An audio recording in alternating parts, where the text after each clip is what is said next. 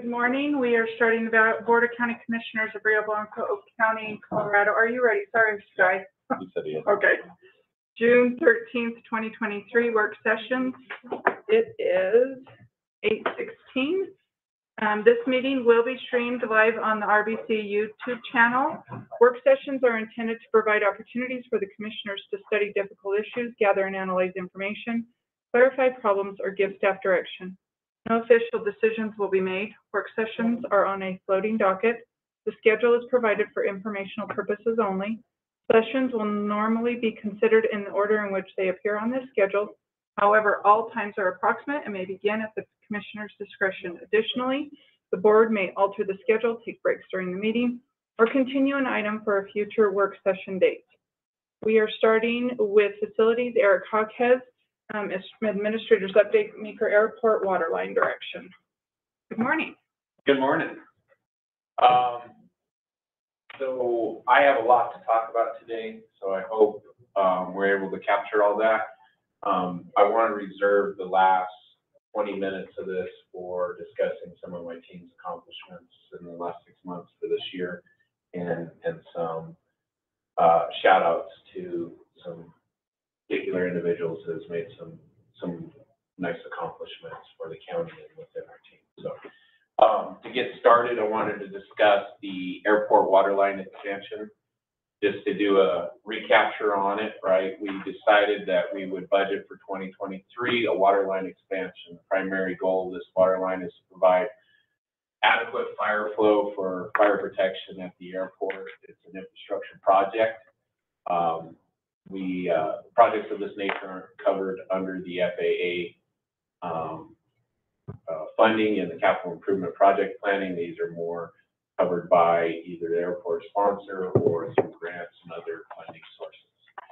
So the original schedule, of course, was that we were gonna complete design by March, issue out procurement in, uh, in April, have the pipe, uh, on the ground, ready to go, and a contractor ready to begin, uh, by June one to install the pipe. Uh, that has not occurred. Um, the biggest, uh, concern, of course, is that we need to acquire right-of-way, uh, easements across two private property owners to the west of the airport before we can begin this project. It was decided that we would halt the design documents at seventy percent before, uh, we, uh, and that we would not proceed forward with the procurement of materials prior to us basically having these easement, easements, uh, finalized for the county and the project. Um, we have contacted, uh, both the property owners, uh, to the west of the airport property. Uh, Don here has been in contact with the property owner, uh, Gentry that owns the property directly to the west of us as attorney, and they were working, they are working currently through the legalities of being able to execute that easement. Yeah, and the problem with that is, is the, there's three deceased landowners, they're split up. And so we're trying to figure out a way to give us some assurances, because they're working on getting the probates and getting, getting the thing cleared up. But it's gonna take a little time to do it. Eric is wanting to get it done, you know, while the weather's still decent and everything else. So, uh, uh, Melody Massey's the one that's, uh, uh, the attorney for him. So we're working on some assurances, uh, an agreement by the heirs and or PRs that once they vest in the property, that they'll convey the easement to us. There's some risk in that, the way there, you know, anytime you take less than hundred percent interest in a, in a property, you can take, take some risk on it, but min- mitigate our risk, uh, quite a bit. We have also, I've also sat down and met with the property owner directly to the west of Mr. Gentry's, which is Horace Schultz, and gave them the uh, proposed documents for the easements, which also include a mirror of the proposed uh, agreement that we have presented to Mr. Gentry, which is in, in lieu of us going across their property for this easement, we would provide them a water tap and we would do an installation on the water meter. Uh, that's our proposed. Uh, neither has come back with a, a formal counter to our offers, and neither has executed the full agreement. So with that being said, it is my recommendation, and after reviewing the, um, the water line analysis that was done in November of twenty twenty-one, that we began to think of maybe possibly drawing a line in the sand and, and pursuing an alternate, uh, supply for this water flow. Now, after reviewing the, I went back through and reviewed it, and so we had, um, we had done a review of, of three potential sources of, of water for this, uh, to, for this project. And it was what we were calling the upper tank, which was uh, the subdivision up above the airport, and, and that would have been the water line coming across the two properties to the west of us. Uh, the other would be to expand on the water line that's currently supplying the water for the airport, which comes up Highway thirteen and runs north. And then also what we were calling the lower water tank, which was coming off of the water supply that supplies the hospital. Um, with the water supply that currently supplies the, the airport, we would need a lift station to get to the proper flow and pressure that we need for adequate fire flow. The water supply to the west, um, basically was our best option because it provided the best amount of pressure and flow. It's a twelve inch line, it already has a lift station, it would supply more than an adequate amount of pressure and flow for what we need to meet standards for the airport and a fire flow system.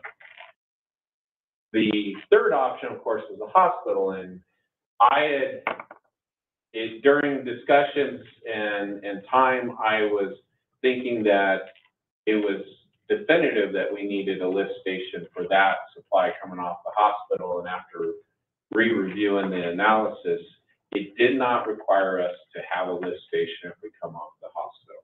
However, it is a longer run, and it would, uh, and the, we're right on the, the line. It's not as great as the water pressure that would be to the west, but it, it is in the analysis that, that that is a viable option without a, currently without requiring a lift station being mandatory for that project. So with that being said, I think we need to explore that option, uh, given how long it's taken to acquire these easements. Um, I always like to draw a line in the sand and say, okay, this is kind of where we've done our best, we've tried our hardest to go for, you know, the easiest, the more accessible option, and now it's time for us to, to accept it and, and move on. Um, what I'm proposing to the board is that if we don't have a, a, um, if we don't have easements that are signed or well on their way to being signed by the July eleventh board meeting, correct, we are meeting on the July eleventh board meeting? Yes.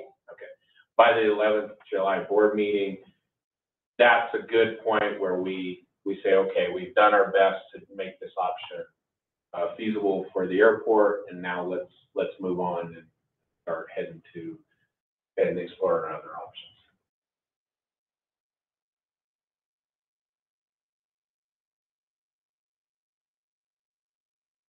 Are we good?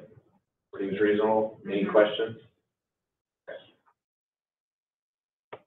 Well, that was surprisingly easier than I thought it would be. Um, so moving on to other business. Uh, so one of the things that took place here in the first part of twenty twenty-three was that, uh, my department, uh, we brought the Fairfield Center and apartments underneath the, the management of my department for maintenance. Um, we've taken a slightly different approach with, uh, MCCIC, taking a, a front seat in, in more of a handling of the, the maintenance and, and upkeep of the apartments, and, and I think that's going really well. I met with the board yesterday.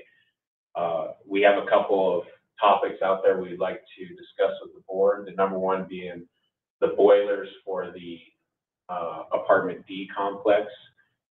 We, we, uh, we had purchased, uh, at the end of twenty twenty-one, we had purchased a new boiler and water heater for that building, and because we've been experiencing a number of issues with the boiler system, and then, you know, like anything, you buy the new replacement, and all of a sudden the system starts working. And so there was a question of whether or not we keep the existing system going as long as possible. Uh, Over the last couple weeks, it's gotten worse and worse with the boiler. Uh, we're at this point of, most mornings I have to go over there and reset the boiler to get the hot water and heat going. And then resetting the boiler has gotten tougher and tougher. Um, we've done some work on it, uh, uh, at the beginning of, either at the end of April, where we replaced an expansion tank and a pop-off valve and, and adjusted a few things on the boiler, thinking that that might resolve the issue, and it hasn't. I think we're at the point where we no longer sink any more money into this existing equipment, and we take advantage of the new equipment that's already, already been purchased. I informed the board of this. Um, A1 was the, the plumbing contractor we purchased equipment through. We felt that that was a good sole source for installing that equipment. They understand the system already. They are to have, to me, today, uh, a, a cost estimate for installing, uh, that new equipment and replacing the existing equipment for those, those apartments. As soon as I have that, I will discuss that with Janae. As I understand, the previous, uh, commitment and idea was that the county would cover the installation cost of that, and that we had set, we set aside some contingency for when this, this instance would occur. Okay. Any issues with that plan, questions? The second thing that occurred fairly recently was, um, along Main Street, uh, at basically the corner of the northeast corner of the Fairfield, we had a pine tree during a storm on Memorial Weekend blow over and lean against the building. Uh, we lucked out in the fact that I think that pine tree did a slow, gradual layover, and so we didn't have any damage to the building. Um, Mr. Overton here gave an excellent hand on getting that tree dropped to the ground. And then the facilities guys made quick work of cutting that tree up. And then, of course, we had many citizens that loved to have firewood at free cost. So they, the tree was gone before, I think the birds moved out. Um, but this, however, did bring up some concerns of the board and CCIC board. Uh, I guess, uh, a few years back, or, and I'm not exactly sure when it occurred, there was a tree that was on the west side of the building that fell, and it happened to, uh, it lucked out and it didn't damage any property, but it did, uh, it had to be cut before a resident of that apartment could exit their, their uh, apartment. And so there has been some current concerns about some of the other trees in, in the complex. Primarily, there's this tree right here that is growing extremely close to one of the apartment complexes, and then there's a, another tree here that sits right between two of the buildings that they have a lot of concern over them falling and harming people. Uh, we discussed it with the board. The board is in favor of us getting prices to have those two trees removed. Their concerns is the resident safety, um, not just in the instance of it falling and where that would potentially harm somebody, but in general, these these trees also sh- uh, shade a lot of the walkways, causing icy pathways and, and overall, you know, maintenance issues that we have. And then there's some concern on this one that's growing next to the, the building, what type of structural issues that it might be causing with the systems, the sewer, the water, and, and structurally for the building. Um, they have requested that, you know, in lieu of planting a tree in that area, maybe we do something like a raised, uh, planter box and, you know, we do something nice to fill that area in, but that it doesn't cause us maintenance or issues that down the road. Any thoughts on that, concerns, objections to, to that?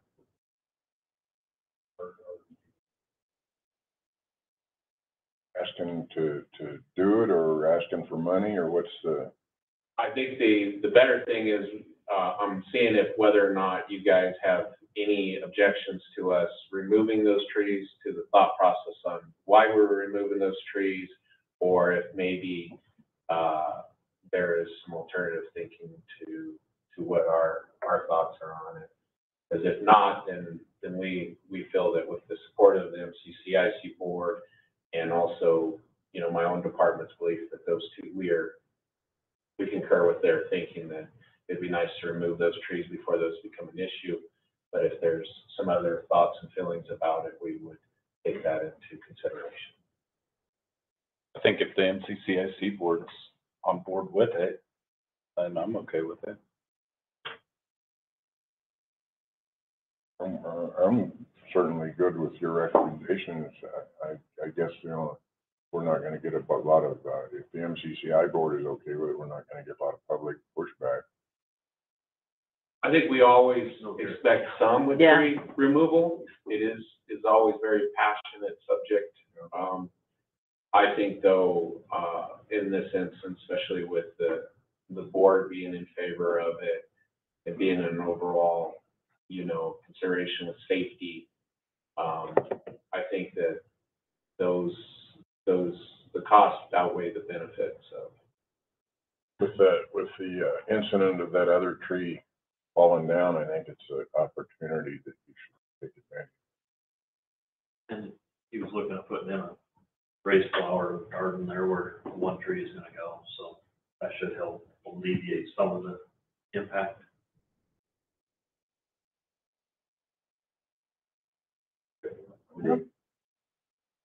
All right, well, we'll, we'll proceed forward on getting those executed.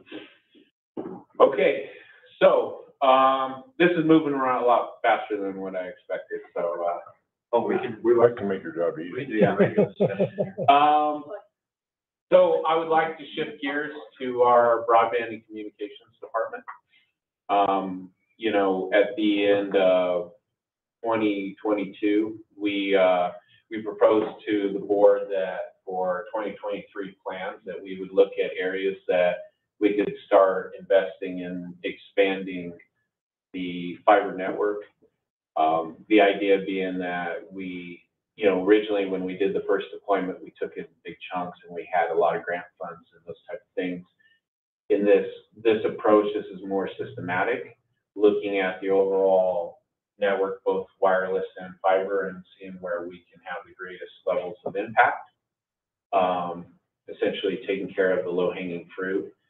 Uh, we designated that the Cross-L subdivision, which is just west here of Meeker, is, is a really great option where, uh, it's, it's a good place for us to develop a learning curve, because we plan on doing this work all in-house. So we would be doing the planning, permitting, uh, installation, uh, everything that goes into doing the expansion on fiber, but this would all be done with our current team.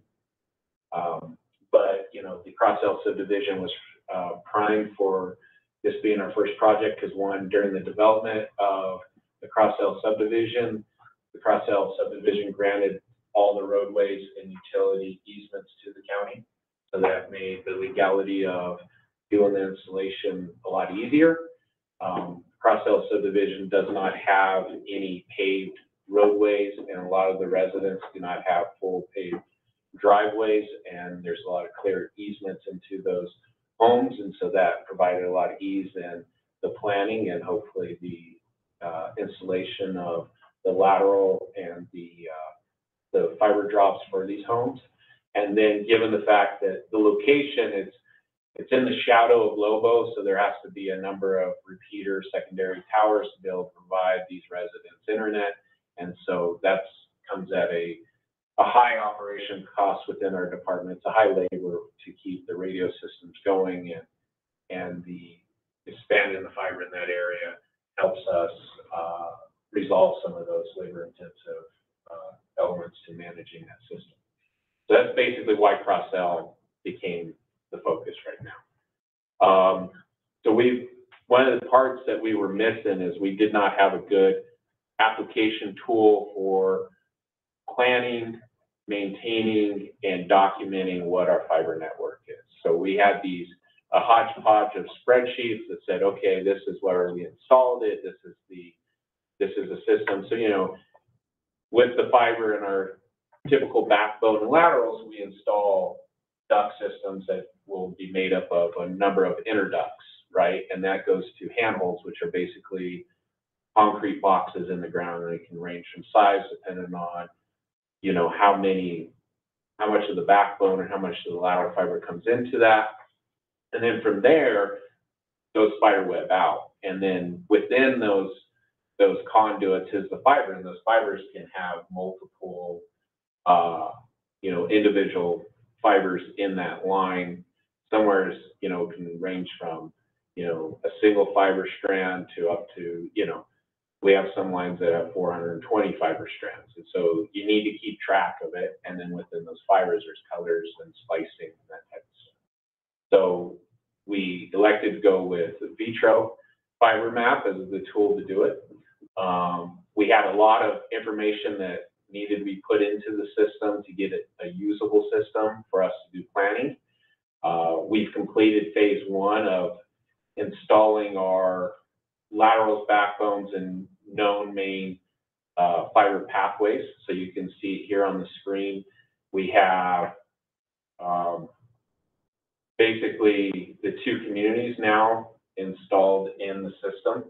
And as you go in, um, you start to see what our fiber network looks like. And where this tool is so usable is when you look at an area like this, right? It gives you the information of that fiber run. It tells you total length, and eventually, which is phase two, it will tell you what the fiber allocation is in that. So when you look at the strand of fiber, it'll tell you where the green fiber strand goes to what residence, what that drop. So that, that would be phase two of entering that information. But you can see that we've gotten, we have all of the current, uh, backbone of our fiber system, our lateral, and then we are completing the drops to the houses. So essentially, phase one's done of putting the information in, and now phase two is more of the detailed drops and fiber strand. How, how, uh, exact do you make that drop to the house? Do you map it exactly where the drop is, or are you just gonna say it's going to this house? So at the handhold, we have GPS locations for that handhold. On the drop, we're, we're going off as close as we can to the side of the house. You know, um, for example, um, I'll use my, my own house for, for an example, which is right here. My fiber comes off of this handhold here. So when we get ready and we do phase two where we're installing the drop, I know that the drop comes back down this line. It comes down through the middle of, of my drive apron in the back and it comes in towards the, uh, west-south corner of the house. And, and we know that from a combination of our documents, from a combination of knowledge of the system. And so we will try to get it as close as possible um, to where it comes into each address's location. A lot of work. It is, and that's, uh, but, you know, it's, it's one of those, one of those things, once we get past that monster curve, then it's gonna be information that's in here, and, you know, that's where it takes the next step, where now we know, and, and we know how precise that is, and, and we can move forward. Now, of course, the other side of this tool is planning. Now, in the past, what we did was we contracted that planning out. An engineering firm would go and take our information, and they would take aerials much the same as this, and they would use a tool much similar to this, and they would plan out the next expansion, and then they would say, here it is, and we would use that to contract it out. Well, now we have this tool, we're able to do that in-house, and so this is the current plan for, uh, Cross L subdivision. And you can see this isn't just drawn on lines. This is where we intend to bring those locations into each one of those houses. Now, one of the things that this tool allows us, but we haven't been able to optimize yet, is we can do overlays of other utilities. So we're working on, uh, importing in Cross L's, uh, electric services, their phone system, and, and then also their domestic water and their irrigation systems.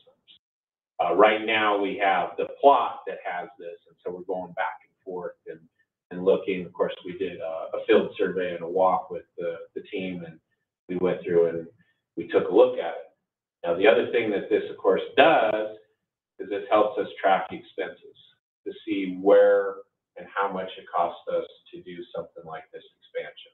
And so it is our intention to, now we have it laid out, we then import what material costs are gonna be, and then we're going to track labor and equipment costs during the installation of this, and this will start to give us that historic information we need when we look at what other future expansions we should be planning for.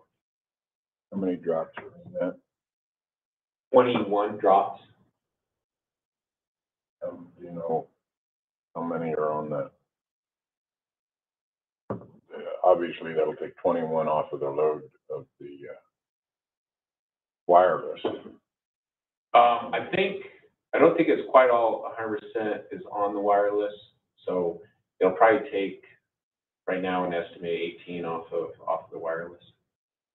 Somebody's on the wireless. I think 18's on the wireless. No, I mean, the home station for the wireless. How many houses does it? Oh, does the tower cover? Yeah, the tower. Um, I don't have that right now. Um, I know it covers the, that one tower covers Crossell and Buckskin, and then it's a repeater for the water tower that then also covers Strawberry.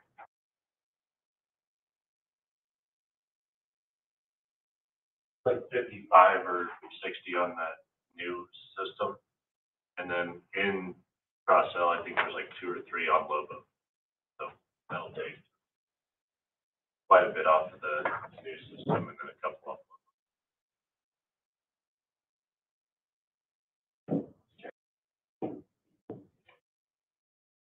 So this is that progress report on, on systems like this. This is, you know, one of the usable tools. Um, and then, of course, the information from the man behind the curtain, um, on, on the count. Um, you know, this is our progress towards being able to do this in-house.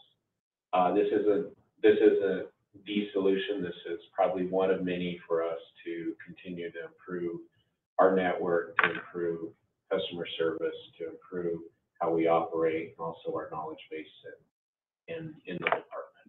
And so I feel like we're, we're showing good progress on marching towards that plan that was proposed back in August of twenty-two.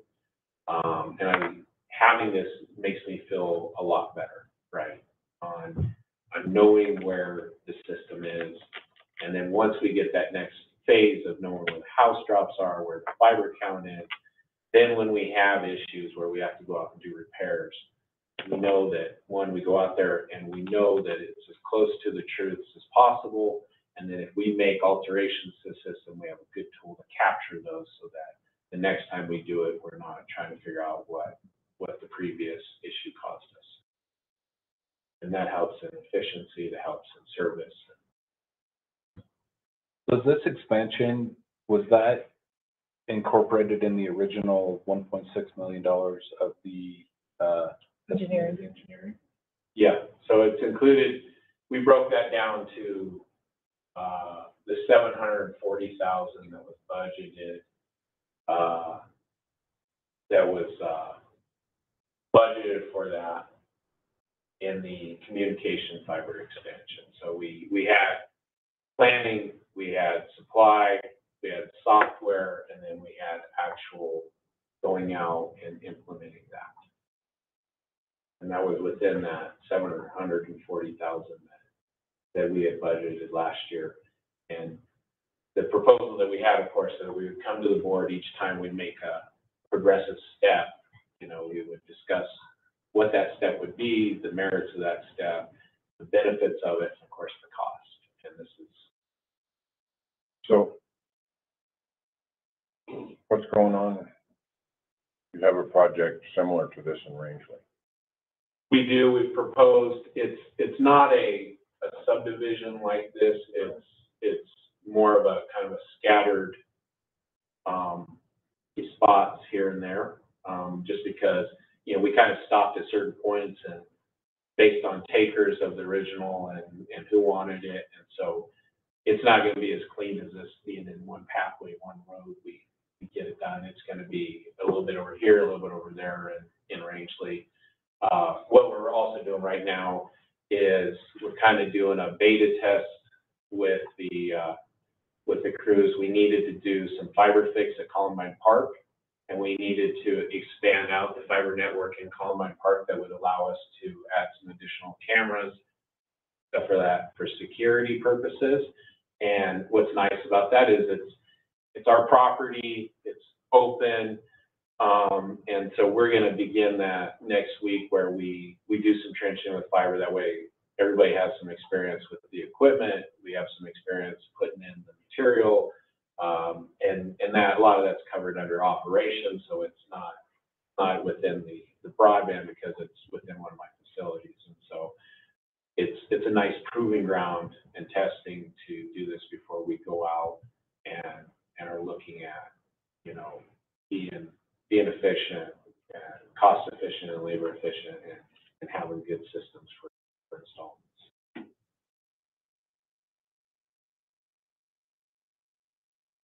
What, what are the plans this summer? Is, are we doing this project in Rangeley if we, if we, Well, the, the plan right now is July tenth, we break ground on Cross L. We would like to then flop over to the other side of, and do Buckskin Valley. And then from there, then we would move to Rangeley, given the fact that we typically have a little bit longer, uh, weather, uh, window there in Rangeley. Um, we haven't quite dove into the Rangeley side and packaging it up, to tell you the truth. Um, we're working through all the intricacies of cross sell and, and that's really gonna kind of build our, our job planning. And then, and then we apply to Buckskin and then we start applying it to range games. Um, we don't wanna get too far ahead of ourselves. Um, I really would like us and the team highly focused on making cross sell successful so that we don't overextend ourselves and we don't overpromise this is an extremely big step for my department operations and broadband. Uh, this is something that collectively we haven't ever done combined. Um, and so the general high-level plan is, is that we, we get cross-sell done, we roll over, we do Buckskin Valley, and then we move to Rangeley. However, right now it's making cross-sell successful and getting this done so that we don't, we don't leave on, we don't, you know, lack of planning come across issues and, and then of course we don't, uh, we don't overextend ourselves and make promises.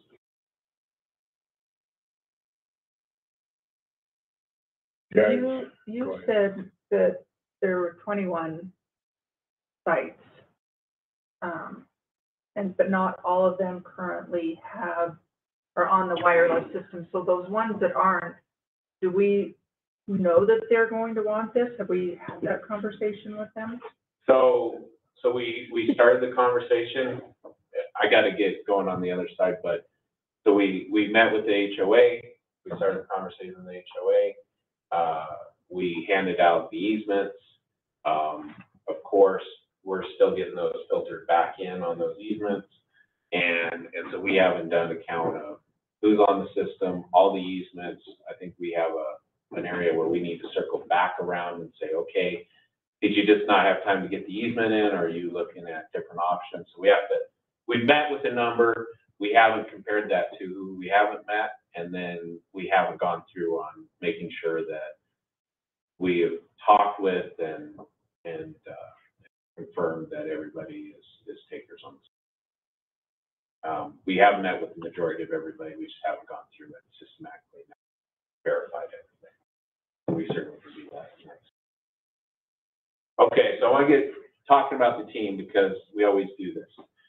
So, um, the first thing is I think that, um, this is indicative of, of my personality and then of course, it's, I think it's, it's a common thing, um, right, is you, uh, you, uh, you're in a room of a hundred, hundred people and you get ninety-nine positive comments and then there's the one criticism, critique, and you focus on that.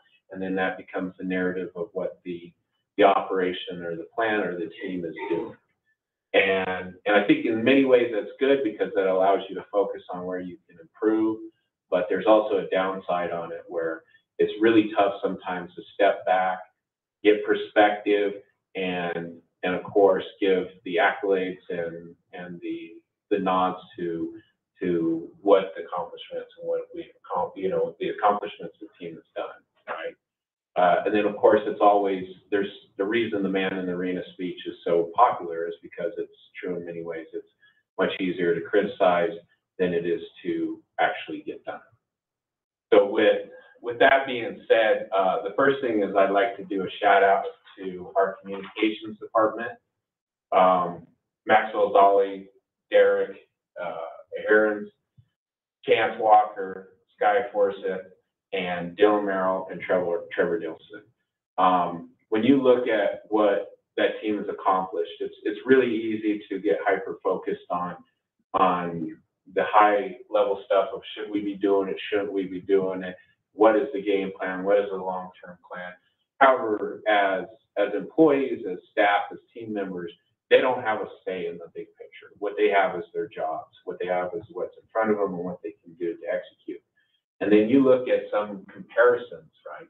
There's been many conversations where we had where there are large telecom companies that are brought into the same communications or the same dialect with what we're doing here in Rio Blanco County. But then you look at the comparisons and you say, a company like AT&T that's been in business for a hundred years still isn't perfect.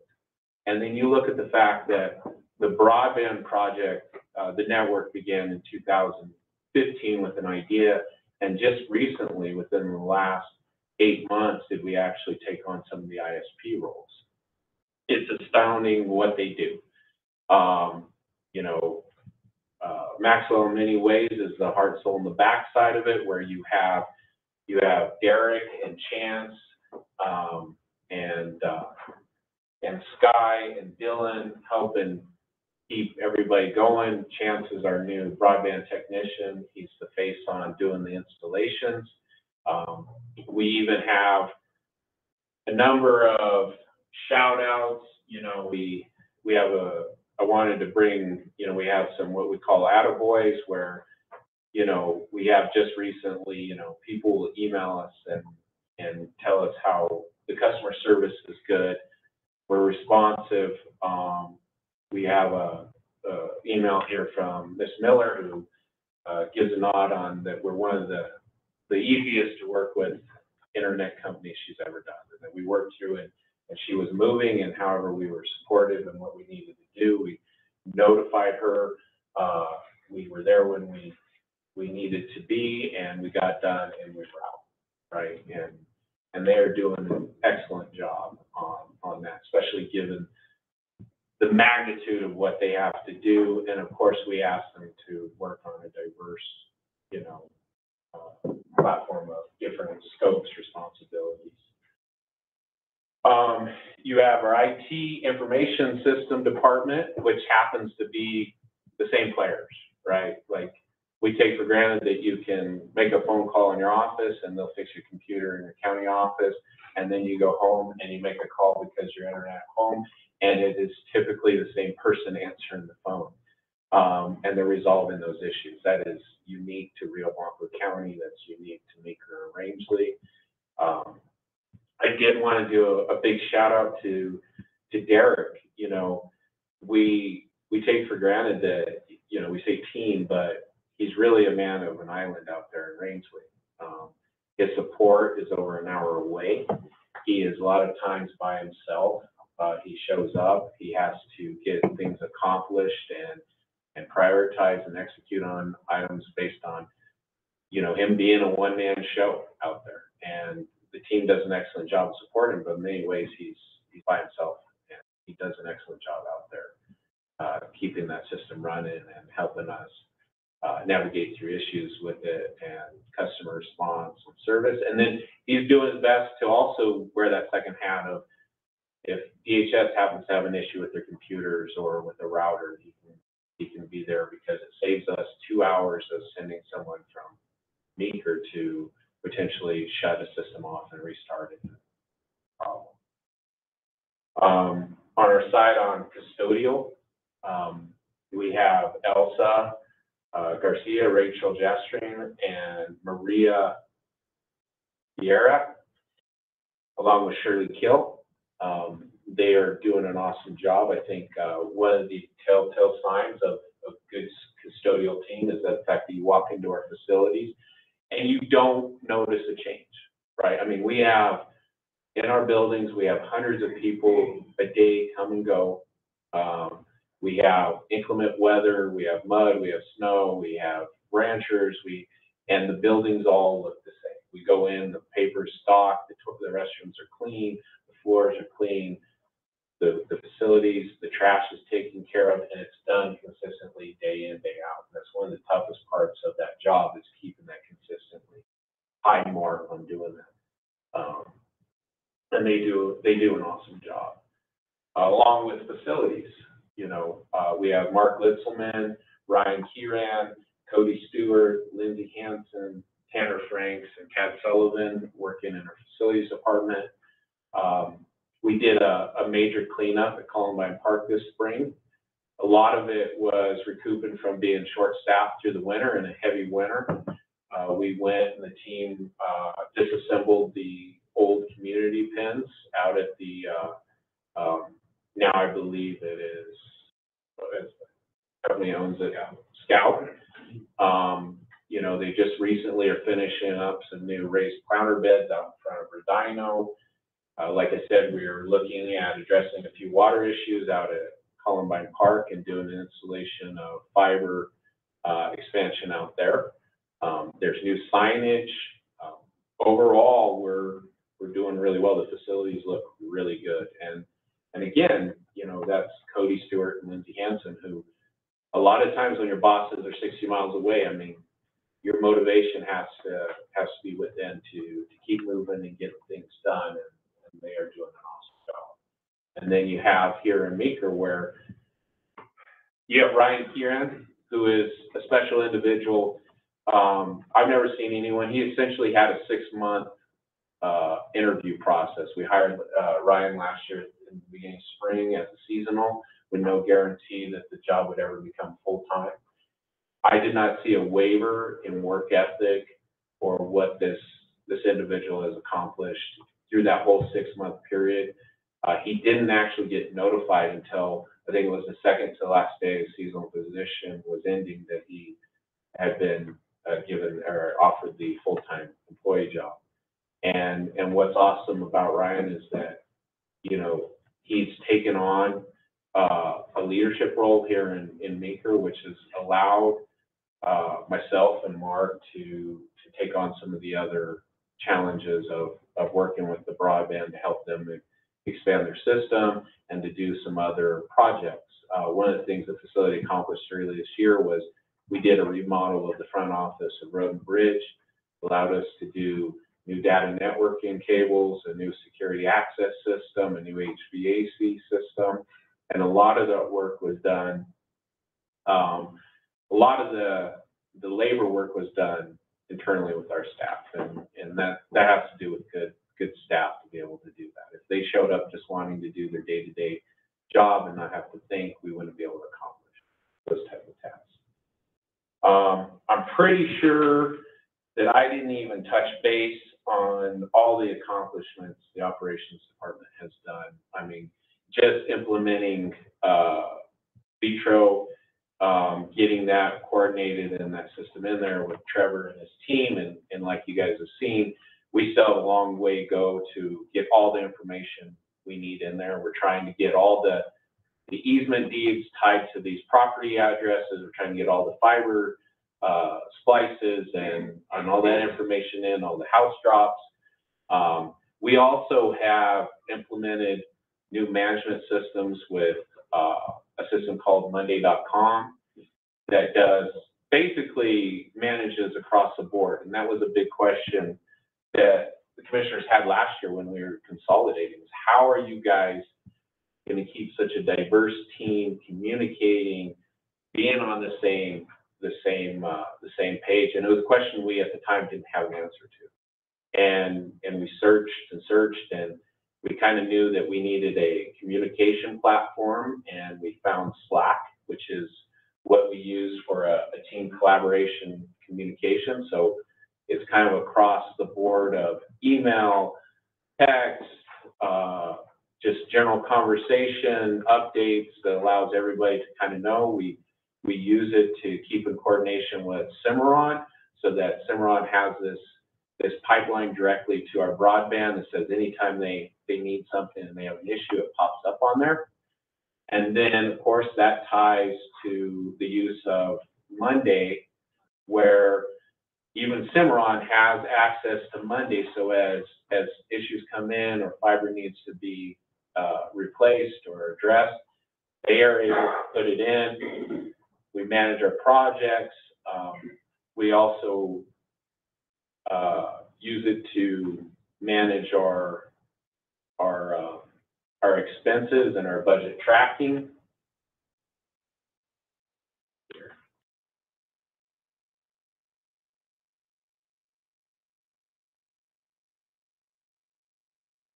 And I had a roll going there for a second, didn't I?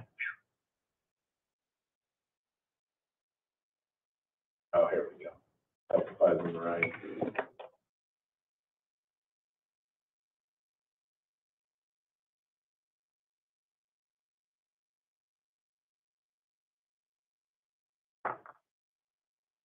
Want to throw a shout out to Maria, because she also brings snacks as well as cleans.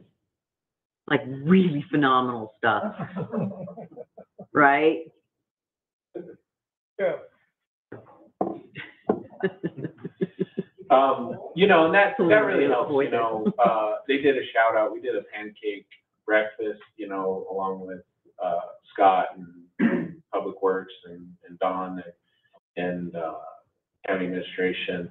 Um, that doesn't happen like because, you know, the three of us, it happens because of our teams and they make it easy because, right, if, if we're doing that, something like that where it's, it's above, then the employees chip in and, and they do it above what's required of their jobs. And then, you know, everybody has breakfast and they leave. And then the staff, they go and they, they clean up and then they go and start their day job. And those things I think are important to, uh, to, uh, bring team collaboration, to, to improve, uh, improve morale. But we also like gotta acknowledge that it's a lot of work and, and that's not done by us. It's done by our, staff and, and they make it happen. Um, if this is, it's running a little slow. So you clearly can see my budgets happen to be a little complicated, but, you know, what's nice about this system is day to day, we enter in our expenses. So day to day, we know where we're at in all the many budgets that we have uh, across the county. And this is vital because one, we know that we're remaining within budget and it allows us to be agile in, in the decision making we have, right? So when something pops up and we need to ask, you know, do we have budget? We know immediately, right? We don't have to.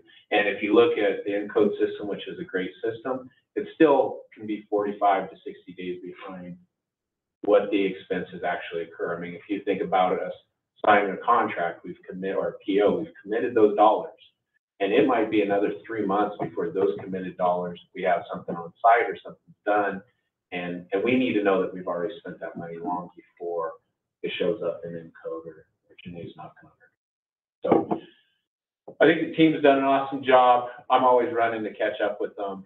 Again, uh, broadband and communication full plate IT, uh, information systems, our custodial, um, and then our facility management. And of course, then we have la- our partners with the airports, with Lanny Coulter and Coulter Aviation and CNCC with the college and helping us manage and, and Wesley out there at the range there.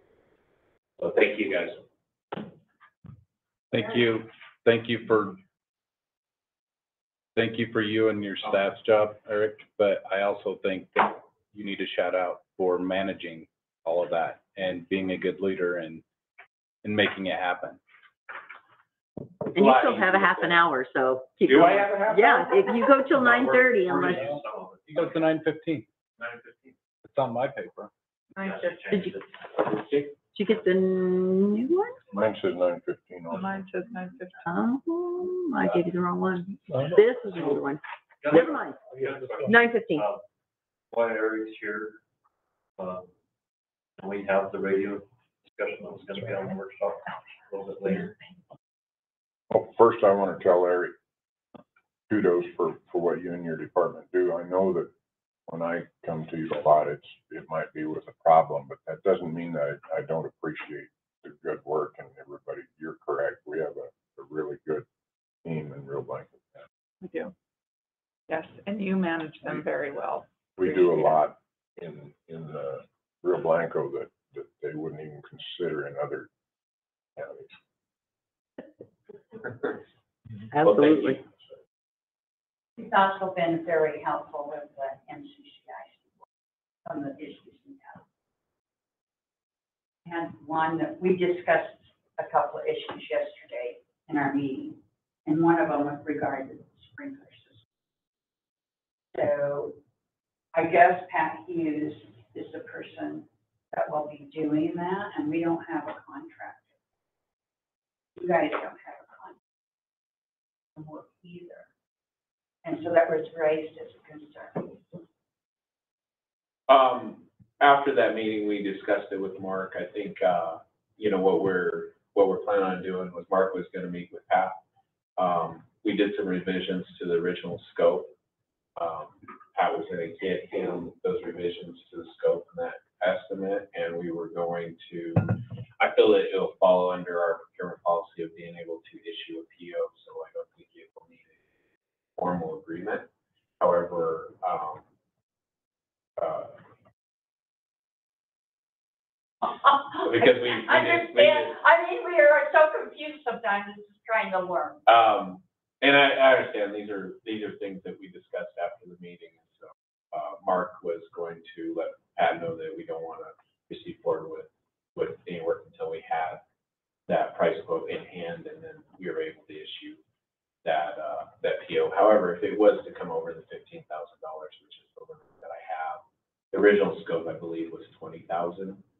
Um, then we would come to the board for an official agreement for services. Uh, this is a slightly different because it's, it's MCCIC's money on the county's property.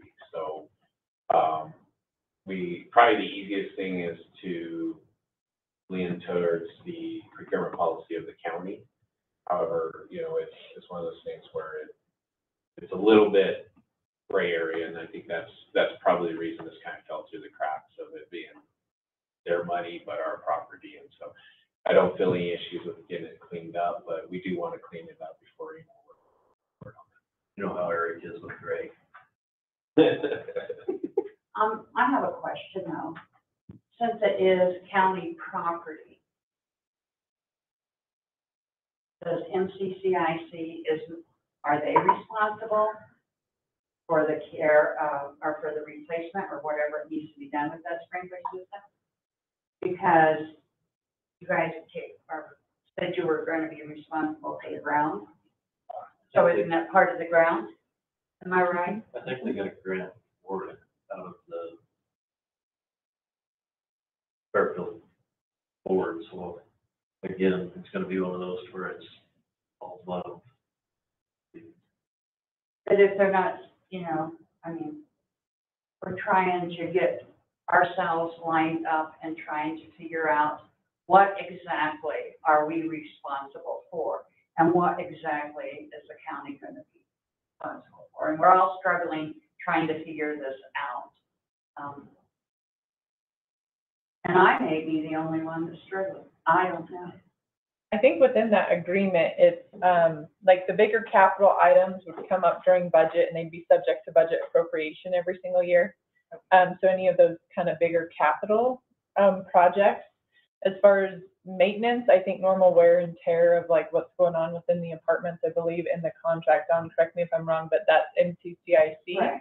Um, and then, so anything else kind of outside of that scope, I think, one, we've got to have it within budget. So budget discussion is going to be very beneficial, kind of moving forward for making sure that we know what projects are up and coming. We can plan for them. We can put them in a five-year plan if we need to, that sort of thing. So, um, I think that's, So that's the way, yeah, that's the way it's, uh, uh, designed, is so if, if something happens, big ticket capital improvement item, and it's gotta go through the commissioners and budget has to be appropriated and everything else, you guys are responsible for wear and tear, so, you know, general maintenance, painting, you know, that type of thing, you know, of course, Yeah. we bleed over anyway, you know, uh, uh, Eric's, uh, uh, crew, you know, helps with a lot of that stuff. But those are the type of things that you need to, uh, just kind of consider. The, in, you know, as we go along in the process, we're hoping to figure out, you know, how to separate it more, make it a, a, where MCCIC is more of a standalone versus a- on the county's end. But, but today, that's kind of what we're doing. We're trying to get a transition there that keeps you guys going in the way that you need to be going, and then eventually gets the of the county's, obligations limited as far as MCCIC goes. I, I think also, uh, this, uh, this, this partnership can be done in the same facets as our, some of our other partners. Like I, for example, the college and the management of the airport, where sometimes they have priorities that they want to see done.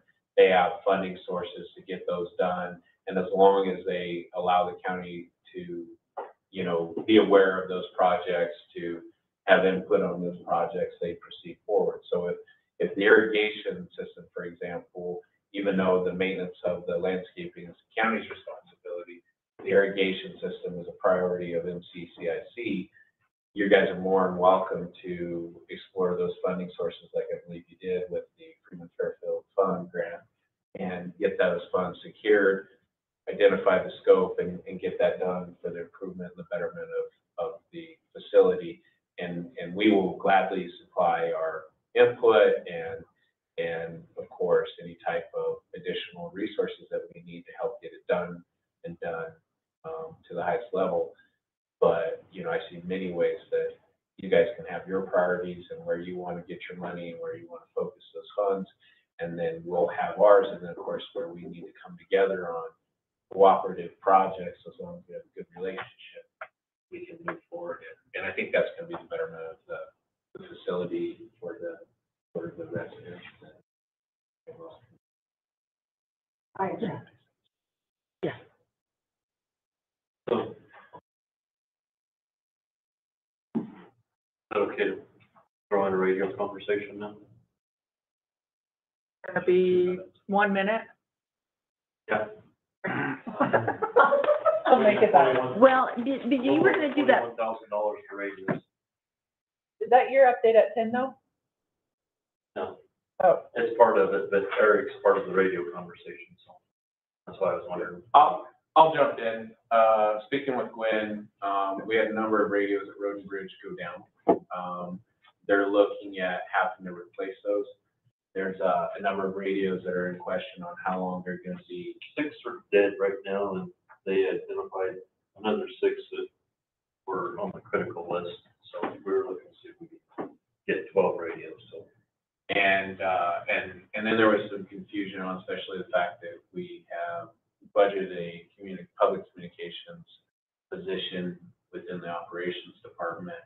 You know, who makes the call? How does this work? And, and, and the reality is, is that, uh, for many years, both the sheriff's office, road and bridge, and kind of a collective of, of, our IT department have kept the radio systems going for, for our departments. Um, we, we do still believe that consolidation of that division under my department is, is, is the best path. And we believe that there's a position needed for management of our radio systems, uh, across, across the county, and of course also for our other, uh, anchor institutes like, uh, fire and rescue.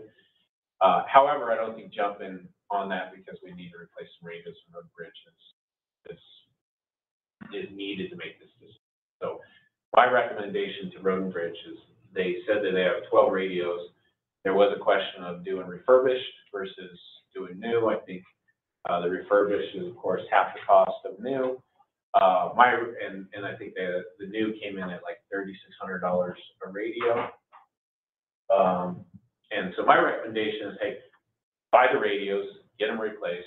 I feel that we should buy new, and, and then we proceed forward how we always done and gotten programmed through, through Cody Henry and his company.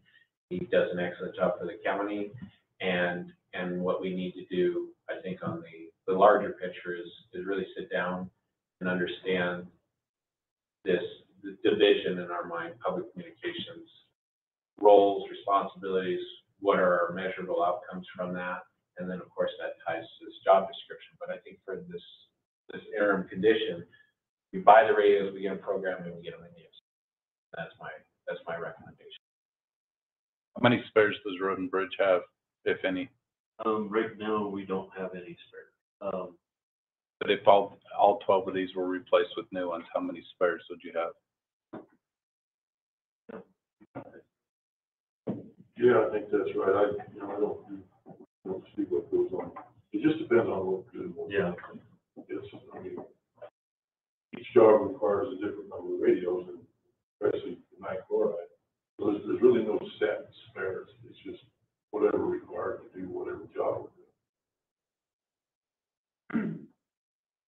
What about technology? Is it, uh, not to change any, or everything is, uh, these radios are gonna last ten years? What, With the newer radios that they're suggesting, I think they would be programmable if there was a newer technology. Not hundred percent certain on the technology.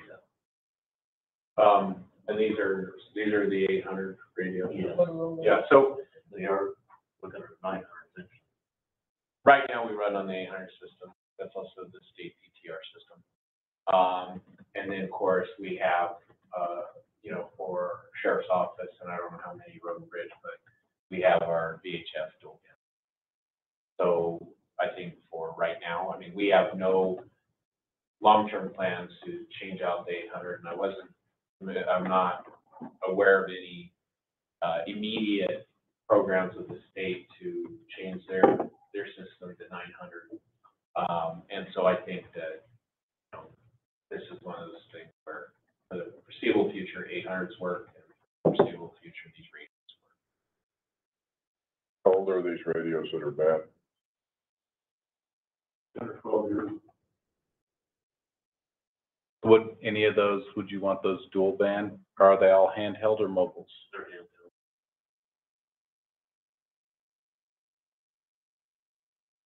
I, my thought is that they, they wouldn't need to be dual band, uh, just given, you know, however, We there are, already need that. Really, really rather than- the, the two main areas that I'm aware of with the, the dual band needs when the eight hundred system is working is, is near Kenney Reservoir and the power site. Thinking more like the fires and Right. stuff like that. Do- Do we use, we get those radios for like search and rescue and fires and stuff? Is that, are they used that way? Is that what you're thinking? Yeah, that, like the BLM and stuff, well, if Road and Bridge is going out on a fire, um, then they need their main, to keep it from being like a, a leapfrog, they, they need direct communication and that's We, we have two of those currently. two dual bands, Yes, handhelds. right. So that would give us, you know, supervisory connection, and then they can communicate.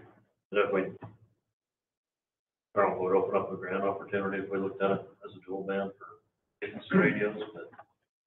um, Are they a bunch more expensive? Yeah, I think they're around six for dual band. quite a bit. And we have the budget for it. So for these, we don't current, like, they're not within the budget, budgeted, so we need to take it as a contingency to replace the twelve currently. But we did put money in fund balance, so I could just decrease that this next go around for whatever we used, we paid for this year. And then hopefully, I mean, the whole thought process was, was to get that position in place so then they could go through all of our inventory, put together a plan of replacement, because we pretty much got them all at the same time. I think all of them within one or two years of each other. So Sheriff's Office did get grant funds this year, so they are replacing a good plethora of theirs. So I think we're, we're good there. It's gonna be more fleet, road and bridge that we're gonna have to look at replacing within this year, next year, sort of thing. Would the sheriff's department radios work for us? I was just gonna ask, thank you. I think those are all dead, and that's why we're replacing. Is They're that like correct? end of life, same, same as yours. Problems, like, we're spending a lot more money on trying to fix them than it would be. I think all of them are like that ten, like between eight and twelve years old. I actually asked Anthony that last week. Are, are they, are they, are dual band? Some of them. Yeah. But I think they're getting away from the dual band handhelds and going in the car, and you can correct me if I'm wrong, Dave, but putting VHF, a separate VHF radio and a separate eight hundred in the vehicles. That's what they started doing, yeah, because the dual bands out. And it's, it's hard because if you have, if you're on VHF on your handheld, you're not hearing the eight hundred. So it kind of defeats the purpose. And, and of course, the user needs to be trained that those are, and understand that the systems are dual band, and also what are the capabilities of VHF versus they. We have some different coverages. Yeah, percent coverage is problems, that's why we would have them, the dual band. Um,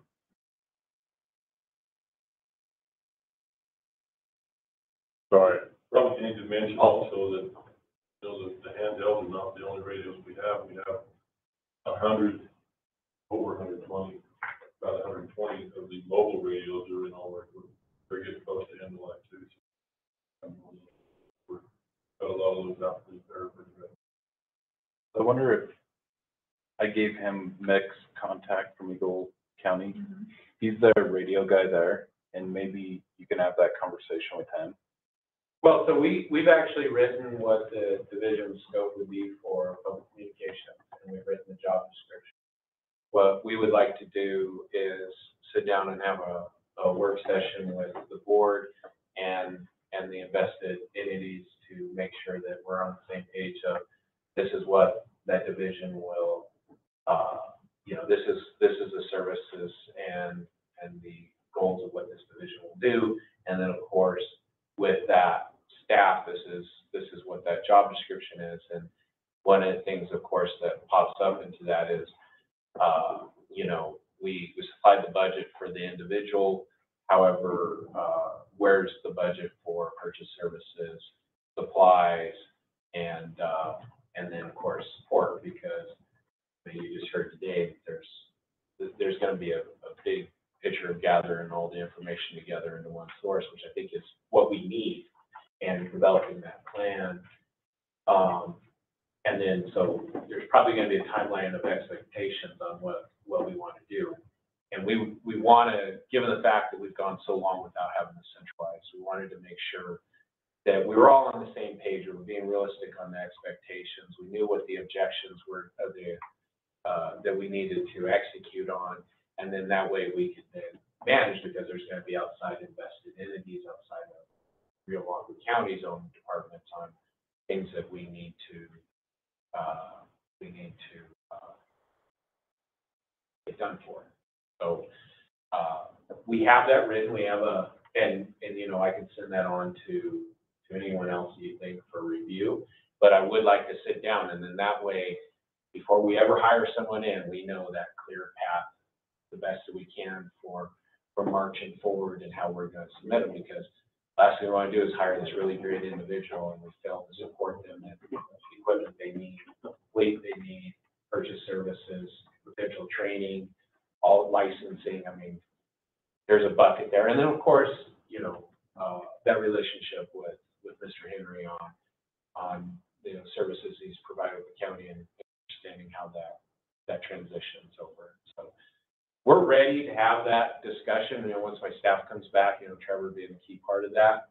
And, uh, and I think, uh, you know, the later part of July would be a really great time when everybody gets back from holiday to, to sit down and make sure that we're all on the same page and we haven't jumped the gun or, or there's not any, uh, gray areas. Did David, I have a copy of that. Yeah, I can, send- I can forward it on to you. Okay, so, um, for the sake of time, sorry, we need to move on.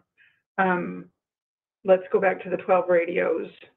Um, but yes, I agree, let's get that on the work session so we can have that discussion on that position, because that was gonna be one of my questions, because I haven't seen it listed. Um, so are we good with, like, getting an estimate on the twelve radios, so we kind of know what we're looking at? twelve radios, a lot of radios. How are you getting by now if you need twelve radios? For the six, we're down six, so we are, um, thankfully, we're down two people too, so, um, we're using everything that we have. Um, the other six are taking extra batteries and replacing the batteries throughout the day. Um, we're making it work right now. Um, we do have people in the trucks that have radios communicating with people on the rovers at times, but if you want us to do six, we're good with six, Well, I, I, I guess it, I would ask that if you think that you're gonna need some dual bands to get- make some of them be that way, I would hate to spend a lot of money and then figure out that we have something pop up and then all of a sudden we need radios and we just bought a bunch and they're not What we need.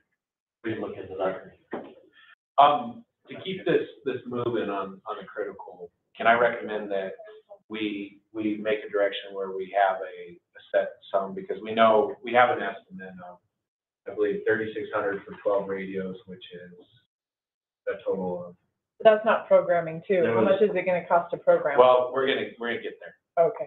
Twenty, twenty thousand four hundred and six dollars is what the quote was. We haven't gotten a quote back from Motorola yet. But was at the landfill again yesterday. Is that?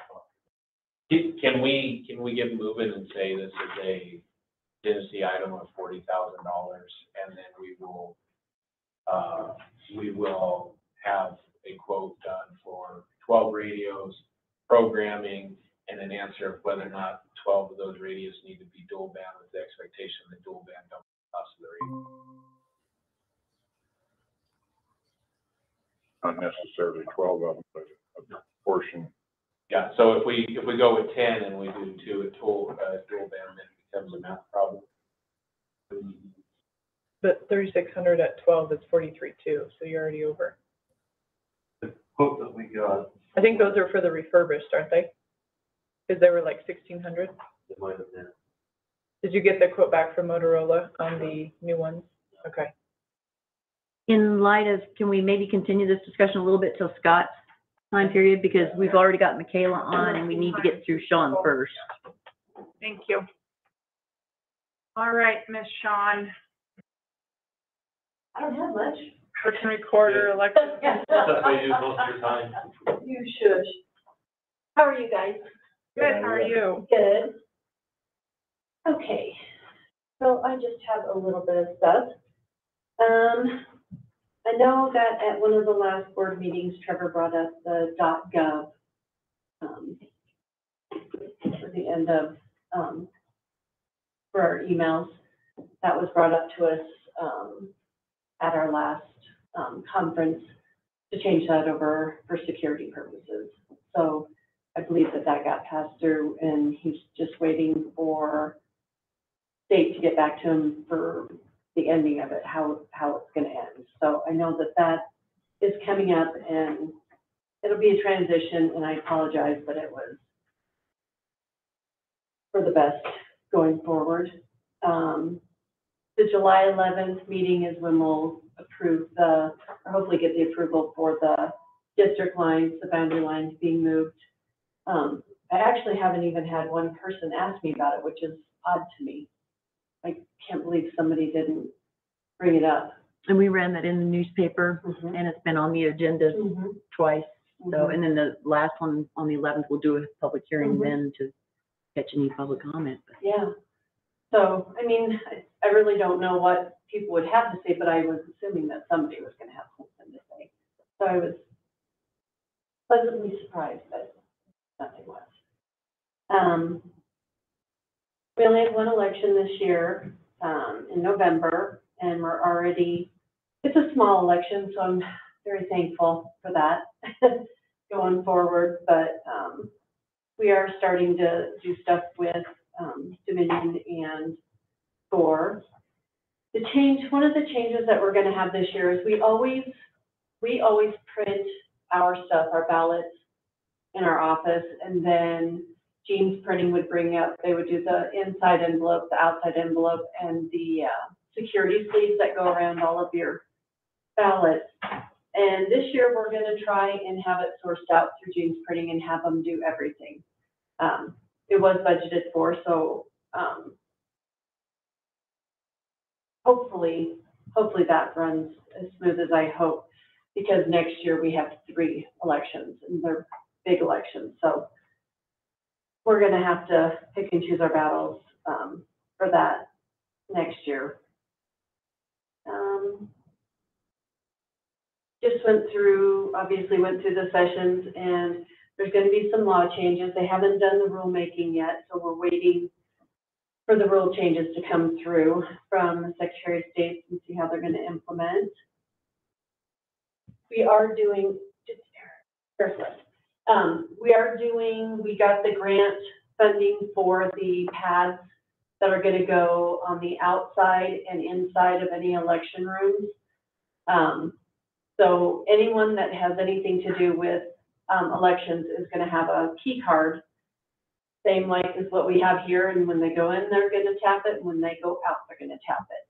And it's gonna have a running log, um, for any, for anything, and I, I have a feeling that we'll probably get a couple of CORA requests after we implement this and get it going. I like the fact that we're gonna have that, the way we did it before was just a piece of paper on the wall, and when you came in, you signed your name, the date and the time, and sometimes people forgot, so we had to bring them back in and have them sign it. Um, so I'm excited, it's been a big project for Eric and maintenance, so, um, very much appreciated. They haven't put it in yet, but their next couple of months is when we have to have it in by. I don't want them to put it in a month before and have an issue. So hopefully they'll get in the next couple of months. Um, I have been implementing using, um, putting stuff in the newspaper for information. A lot of people have questions on just how to, how to take their name off of the list, or someone's been deceased and it hasn't come off our list yet. We've been putting little blurbs in the paper, so I'm hoping that people are seeing that and utilizing that. And if you guys ever have anything that if somebody comes up to you and asks a question about elections, first of all, actually have them call us first so we can get the right information. Not saying that your information is wrong, but make sure it comes through us. And then, um, second, I want to be able to, if somebody says, you know, we don't know how to do this, or what's the process? If that's something that we keep hearing stuff on, I want to get it out in the paper so that people can, everyone can see it. Because if one person's asking, you probably got fifty. Um, so Nikki at the newspaper has been very kind in getting it in without charging us. She's putting it in like the little, a little section that she has space for. Um, Are you, um, putting it in the Rangely Review too? No, just the, just the Herald Times. I would suggest putting it in the Rangely, I mean, she does a monthly, Who's that? uh, Jeannie Caldwell. G.D. Coswell? Mhm. And it's the Rangely Review. Uh-huh. You don't have any contact information for her? I can forward it to you. it to you. Thank you. Okay, yeah, absolutely, I have no problem doing that. Um, we just got an update, um, on one of our Zoom calls. They're potentially talking about doing, um, a flat fee for recording. Right now, it's thirteen dollars for the first page and five dollars for the second. And then five dollars whatever after that. And they're trying, they're putting their feelers out there right now to see if they want to do a flat fee for recording. I don't know how that will work. We only have a couple of times a year that we have four hundred pages or, you know, or more. So there's only a couple of times, but, um, I think they're trying to get everybody to do it, um, electronically is what they're pushing for. It's the time spent scanning four hundred or nine hundred pages. It takes a hot minute to get that all back in order and, and keep going. So I, I think there's a lot of positivity there. Um. Can't read my own writing, sorry. Oh, our rulemaking is in progress, um, that should be finished here within the next month.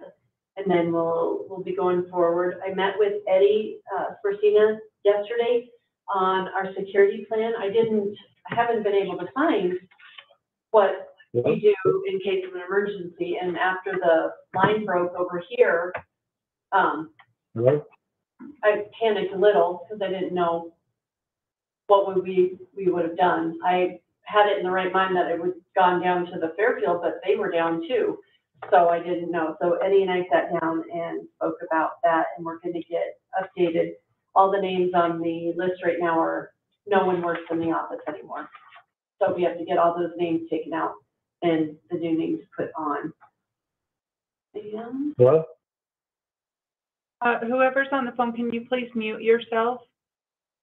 Oh. Thank you. Um, I think that's it. I know you touched on it briefly, but with the uh, lawsuit with the state, and all of that, are, are you actively trying to clean up the voter rolls? Absolutely. Um, we've had, um, a lot of discussions with them and we are, I'm doing as much as I can on my end for our side. I guess that's the only way I can say it. Um, Rio Blanco County is, it, this is not the problem. We are not the problem. It is out in the bigger areas, fifty thousand plus, where if three things slide by, they don't get noticed. Here, they get noticed. Um, and a lot of that, so a lot of the stuff in the newspaper has to do with helping get stuff cleaned up. We have a lot of people that keep bringing up the same fact that, well, so-and-so got a, a voter registration, but they live in Georgia or New Mexico or wherever. And it is all on the voter. It is not up to us to change someone's information for them. They have to contact us to tell us to do it. And so I know there's a lot of disconnect there that people don't realize that even if someone in passing says, oh, hey, Sean moved to Massachusetts, take her off the list. In fact, I didn't. So we have to have it from the actual person. Um, a lot of moms want to do it for their kids. They can give the information to their children, but the children have to do it. So that was one of the inserts that we put in the paper was to make sure that people understood that just because you know the information doesn't make it that you're going to do the information. It has to come from the voter themselves. What I about, actually have to go online and, I know I did. Yes. And you even caught that my address was incorrect Yes. even before I came to you. Yes. So I know that you are working on that because I personally. We have a little, couple of issues, you're welcome, couple of issues with the streets and what they're named and how the post office thinks that that is. So, um, we're trying to get those cleaned up as well. And once we get the, um, district lines approved and we get that in there, then I have about a month's work, worth of work to clean up the actual address library. And so, once we get through that and get those moved, the district stuff moved, then um, more stuff will come into play. And that's why we need to get this done before the end of July, is because I have to go in and then do stuff to move those lines and to get stuff cleaned up for people. I don't, I don't wanna prolong this, but I just have a question. Um, if someone, uh, moves and they don't notify you and they get a ballot and they vote, is that illegal? Yes, And how, what do we do about that? on the voter. The Um, voter has if to say we, that I'm doing something illegal and slap me? wh- which they're not going to. No. So, you know, isn't it only illegal if they vote if they're new residents? I was thinking that they had, so they can't vote twice, but if you vote at your, where you're currently registered, right? you can't vote, like if you move to Ohio and you, for whatever reason, your mom puts it in the, because they're not forwardable. Right. Those are not forwardable. So they come back to us if they don't live there anymore, but say the mom grabs it and sends it to them and you've lived there for six months. You're not a resident of Rio Blanco County and you're not a resident of Colorado. And that is voter fraud. Okay. One hundred percent. And so it's on them. And so being a small county, we know everybody. It's horrible because I'm like, well, I know she doesn't live here anymore. So what we try to do is reach out to people and send a letter and say, hey, I know you live in Texas. Can you go ahead and go online and, you know, take yourself off the voter list? And they will. We've had, um, roughly about ten people that we've gotten a hold of that said, we didn't know we had to do that. So that's why we're trying to get stuff out into the paper and to the What about deceased? Deceased comes directly from the CDPHE. We used to have an ERIC list that would download each month, but now they've taken that away and it goes through and we got, and we get a report once a month and then we go through and process. We had nine last month, like we just did nine people. Hmm. Unbelievable, If, but we if- get if we know there's voter fraud though, do we report it to the law enforcement We agencies? absolutely should, absolutely. You That's the way Yep. I've always seen it, that, Yep, that if Yes, you, we if can you're, report if we know for sure and that they had voted, absolutely. Now, if they receive a ballot, that's one thing, but if they vote the ballot, that's Right. the other. Yeah, receiving the ballots, you can do that. Absolutely, and they could just, you know, and a lot of people want to send them back to us with a note on the outside of the ballot. That, again, does not, they have to take responsibility for their own actions and go take the stuff off of it, so. Thank you. Anything else? Thank you, guys. Dawn? Thanks for that, man. Alrighty, do you guys need a break? We're good, move on, okay, okay. Not dying yet. Don't want to first thing of water. Yeah. We are moving on to public health. Michaela, sorry, we were running a little behind. Um, you have a request for increased public health staffing. Yes, hello. Can you guys hear me okay? And thank you. Okay. Um, Please, so, oh, Sorry. Oh, I was just gonna tell them that you ran it by me and then I talked to the administrators about it, so it's been vetted in that regard too. Oh, okay. Thanks, Don. So, yeah, I am here to request another public health nurse. Um, I just wanted to update you guys on a couple things. We have posted the retail food um, job, and I'm actually interviewing someone for that tomorrow. Um, so we kind of have the ball rolling on that. I know that's something that you guys wanted me to do. Um, and then we also have some changes going on within public health. Um, our public health educator and budget specialist will be leaving on June 28th. And also, our um, LPN is not coming back from medical leave. So I'm pretty much losing two people kind of simultaneously. So I am requesting to get another public health nurse.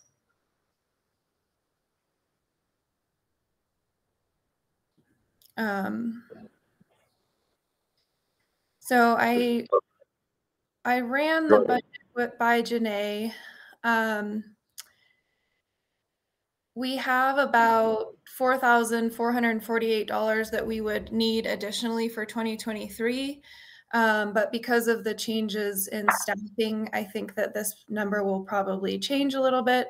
I just haven't had a chance to get those numbers together, um, because this has all happened within the last week. So, um, I can talk to Janae more, and I don't think that we would have a problem now, um, with the additional budget needed for twenty twenty-three. Correct. Michaela, are you planning on, um, refilling any of those other positions? Um, Is it so- kind of dependent upon that? So the L, the LPN, um, no, because the RN would take, take the place of that position. Um, and then the budget specialist also no, I will be taking over those duties. So I would say she has plenty of budget to be able to cover that. Forty, forty hour week, uh, RN? Forty hour week RN is what we're proposing. Um, and then Michaela, I'm, I'm gonna kind of talk a little bit about some of the things that we discussed. That, uh, uh, RN could do more things. She can work more independent than the, uh, than the LPN.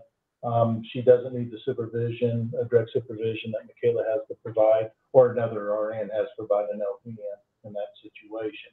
So she would be able to do more. Michaela's discussed also using her for other things that would benefit the community. And one of the things specifically we talked about is the, uh, uh, idea that, you know, a lot of seniors need to have weekly, uh, well checks. They need to have their blood pressure and, and, and all of their vitals, uh, done. And right now they have to go up and pay a thirty-five dollar copay. What Michaela would like to do eventually, probably not the first week she gets a, a, a- new, uh, RN in, but what she'd like to do eventually is to offer those in, in the, uh, uh, public health offices. So they can come in and get those. They don't have to pay that thirty-five dollar copay. A matter of just getting the vitals checked on a, on a weekly or, or whatever basis they're required to do. Um, which I think would be a pretty big benefit to the county on top of having that, those other services that we're going to make sure that we have qualified people to do, such as the vaccines and things of that nature. Is that adequately stated, Michaela? Yes, yeah, that's great. Thank you. So would the RN be in Meeker or in Rangely is my first question. And second question is how confident at the hourly rate that you're proposing do you think that you could hire an RN? So the hourly rate that I'm proposing, I, I don't know if Jenny already said this, but it's, it would be thirty-six dollars an hour at forty hours. Um, and I would hire a nurse in Meeker or Rangely. Um, we do have a new WIC educator that does live in Rangely, so we, that has helped us out for staff in Rangely. Um, but as far as the nurse, I would hire in either location. It just kind of depends on who, which location applied for it. How, at the thirty-six dollars an hour, how confident are you that you can get an RN? I'm very confident. I feel like I feel like that's a very competitive wage um, for for for an RN.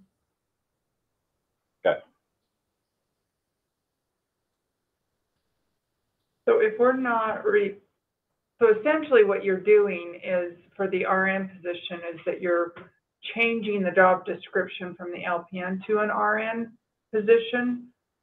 Is that what we're doing Well, with we're- that? 'Cause I guess what I don't want to see happen is we, I guess what I've seen happen in other departments is we're, we're taking, we're not going to fill this position and then down the road, they want to fill that position. And so I just want to make sure that if, if that's truly where we're saving money, so to speak, by not replacing it and then down the road wanting to replace it, if that makes any sense to Yeah. anybody. I just want to make sure that we're keeping a pretty tight ship in that area. Yeah, And, and that's one of the things we've, we've discussed, the, the, uh, RN position, uh, uh, was originally what it was, then they were, they had a hard time filling that, so, uh, they, they modified the description to allow a, uh, uh, LPN. And so that was, that's been a struggle ever since they've done it, even under Karen and then when Michaela, uh, came in, so that's always been a struggle to have that, just because of the, the things they can't do. So, so that LPN is gonna completely go away, that, from my understanding, right, Michaela? Yes. So, so that will no longer be an authorized, at least that's my understanding, that will no longer be an authorized position, so we just can't step in and hire them unless we go back through the process and justify and then get, uh, uh, our commissioner approval for that new position. I don't think we're going to completely do away with the educator, uh, right now, at least that's what my, my, my thought would be, to at least keep the position as a, as a potential open position. Um, and see how Michaela is able to deal with all of her, her duties and responsibilities, because she's getting into, uh, uh, budget season, uh, uh, but she's uh, both the state, fe- federal, uh, year-end, uh, information that she's gonna have to provide, things like that. So I don't wanna overload her being as new as she is in that position until she knows that she's got a good handle on it. And, and then at that time, we can look at whether or not we need to fill the educator, the, that second educator position, or whether or not we can do with current staff. That's, that's what my, my hope is, so I wouldn't necessarily want to foreclose that as a possibility, but if it can be done with our existing staff, then that would not be, be hard. I, I would like to, if you do this, I'd like to see you move the job descriptions around so that they're filled with the people you have, and that would take care of your concern, right? And I think that would be, be appropriate. I think we probably ought to look at those job descriptions for budget anyway, and make sure we have the right people in the right positions, that we're not, you know, sometimes, and I think it's happened in public health probably as much or more than any other position. You get somebody that's good, and so you kind of, uh, uh, uh, change their job description to fit the person rather than the, the position. And I think we've got a little of that now, so we probably look at them and make sure that we have the, the right job description for the right, uh, positions. And Michaela and I can work on that. Yeah. Remember, you're kind of looking at three different positions as it currently stands, because we had a forty-hour week person who was doing the, um, oh, the The food food inspection. inspection along with some like environmental health stuff, and then, so you have that position. You also have the thirty-two hour week LPN position, and now you have a thirty-two hour week, um, budget kind of specialist educator position. So I would say, I would agree. Leave one of those kind of open. I think you have enough money within kind of those two positions to formulate your, your forty hour RN without adding additional funds. But also through public health, they just extended the ELC for another year. They're giving a few more, you know, some more money down the road. So I think grant wise, you're covered, um, at least for these next maybe year or two. And then you can really figure out, you know, where you're going at that point. You may go back to where you do need more of an admin position within public health like we had pre-COVID. Um, and so I, I think it's, I think just leave some money in there aside for something at some point in time. And another thing we're looking at is to, to turn that, uh, other, uh, uh, educator slash everything else position back into a forty-hour position. And we talked about that. I don't know, we made a decision whether that's necessary yet or whether, uh, uh, that's something that, uh, the employee would want to go into that, but that's, that's conversations that we have as well, is try to maybe do that as a forty-hour rather than as a thirty-two and, you know, get a better bang for our dollars in that position as well. So at the end, we'd have a forty-hour RN, potentially a forty-hour, uh, uh, educator slash other things position. And then, uh, uh, a part-time WIC, a part-time, uh, uh, food inspector, and kind of work those job duties, uh, uh, around between the existing people, see how that works. And if they can make it more efficient, as well as make it more beneficial for the county. Yeah.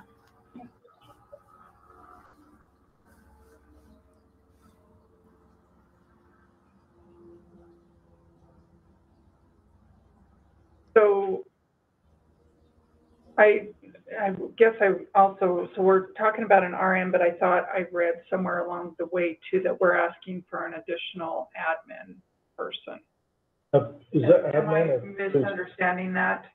Uh, uh, for that food inspection, uh, uh, uh, position, but I think that's, uh, being absorbed by a position we already have. I- Okay, So, so this is just the RN. Yes, I think this is just the RN. Is that right, Michaela? Yeah, this, just our- this is just for the RN position. Yeah, see, I think, and, and I think in the justification form, which we, we mm-hmm. worked on, I think that part of it is, is, is she was trying, that we, we were trying to demonstrate through that justification form what we had and, and the resources that we had and what we were using already. So you guys would have a better understanding of that to make the decision. Michaela, when you first started, you said that you were looking for a food inspection person. What, what, what- did I misunderstand you? Yeah, so we have had that job posted for a while, um, and I actually have, I'm interviewing someone tomorrow for that, so um, we are trying to get that filled. I know that that's something that you guys wanted me to work on, so um, I am trying to to get that filled, so it's not at the state level. Yeah, it's a, the state right now coming in and doing it for us. We, we had a, a position that, uh, the, the person left, uh, a, a few months ago. That, that was part of the duties, but she had never trained up to do that. So we want to get somebody uh, in-house to do it, because that was one of the things that, when we had- had talked about this earlier, that was a concern to the, the board.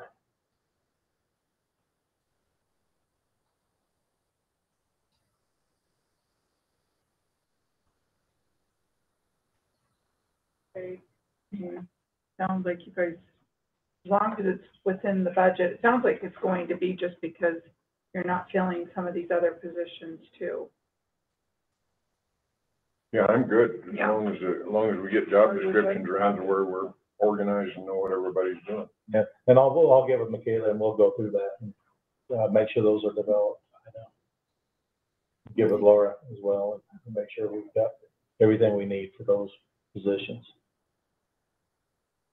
Okay. We're good. Thank you. Thank you. Michaela. Thanks, Michaela. Thank you.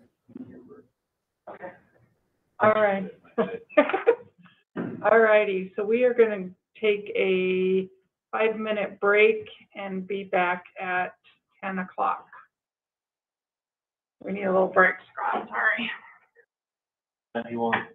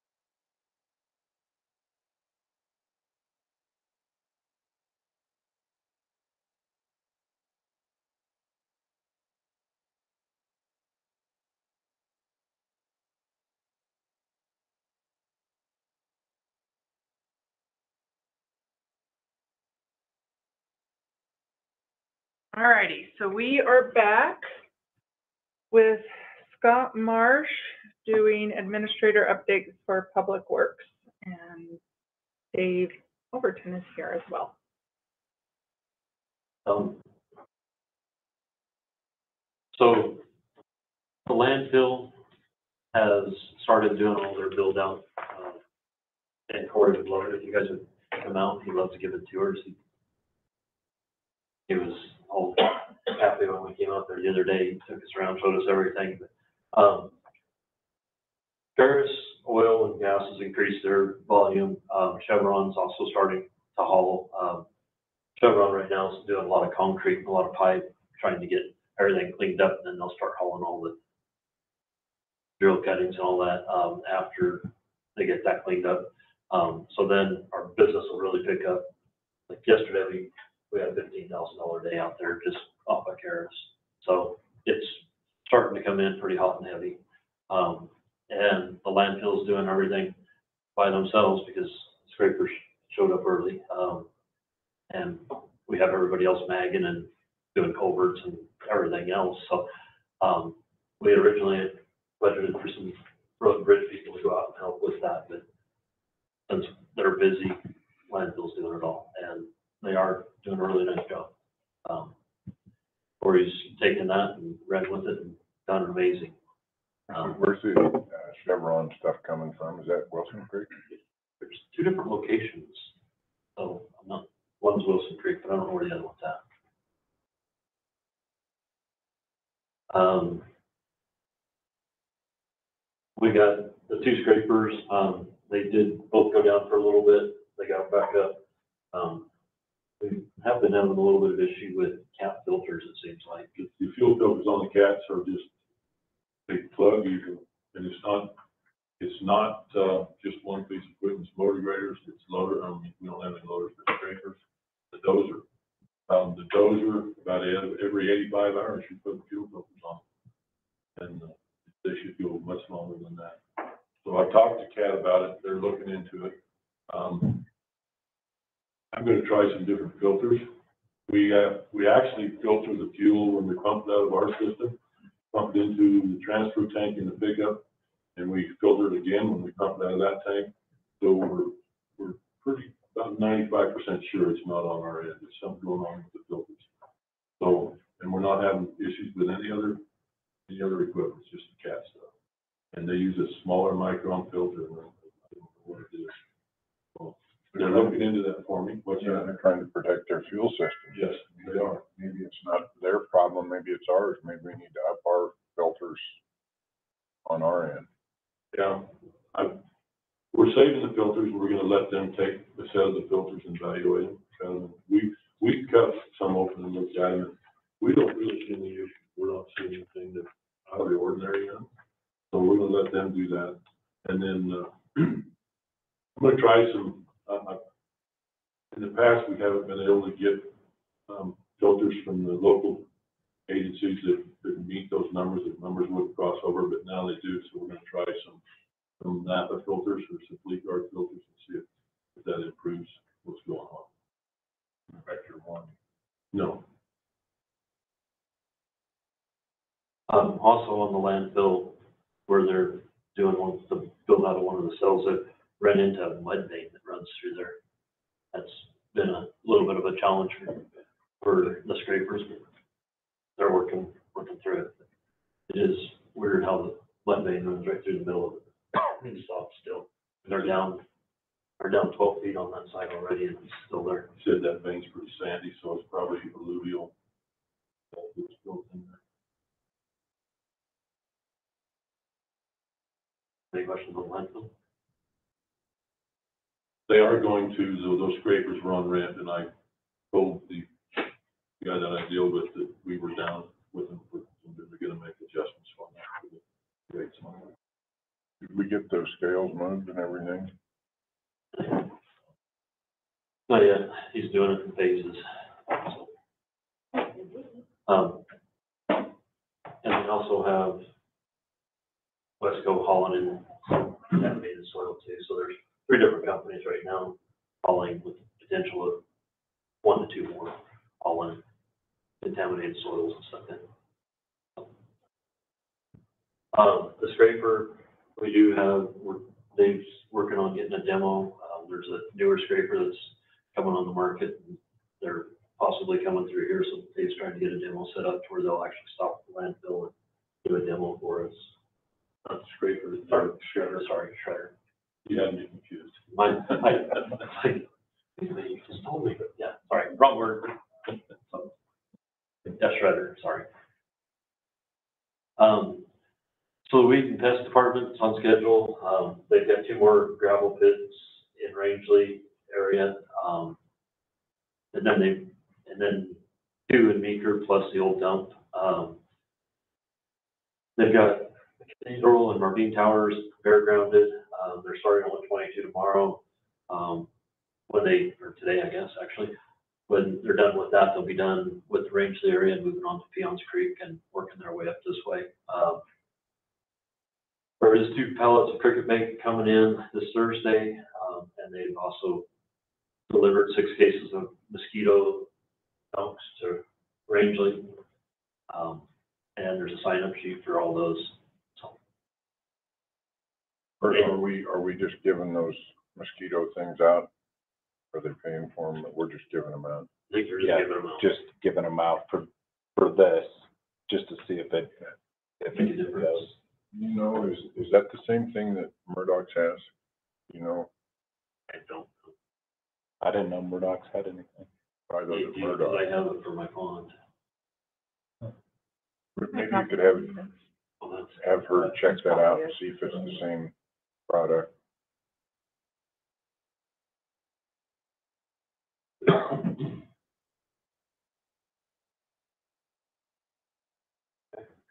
Um, and no word on the squirrel bait yet. She's ordered some, no word on it. Um, fairgrounds, they've gotten the stalls cleaned out, um, water turned on everywhere. Um, they set up extra stalls and everything for the Mustang roundup that they did. Um, they also had rodeo Bible camp, um, last week. Also cornhole tournament and dinner and everything there that they got all that set up for. Um, Thursday, they're doing a thirty-day clinic, um, Mustang clinic. Um, the rodeo started last week, or this week, last week, the eighth. So they're gonna be doing their Thursday night rodeos. Um, they will not have one the week of the fourth or the week after the fourth, and they won't have one in the middle of fair this year. So um, they did get the gutters in on the grandstands and the covered stalls. Um, and they also got the heater put in, in the building. And everything's cleaned and ready to go for rent. And they're working on getting everything set up and ready to go for the fourth too. Um, be meeting with them. We finished mag the twenty-second, so we're planning on sending some guys over to help get whatever we need done, set up, and ready to go for the fourth thing. I think the fairgrounds needs to be top shape for the fourth.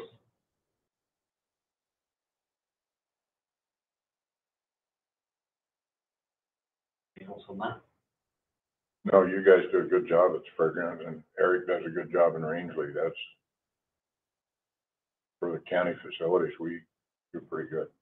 And we, we did try, um, we had that asphalt company in our pit in Rangely, and they had a bunch of just cruddy material.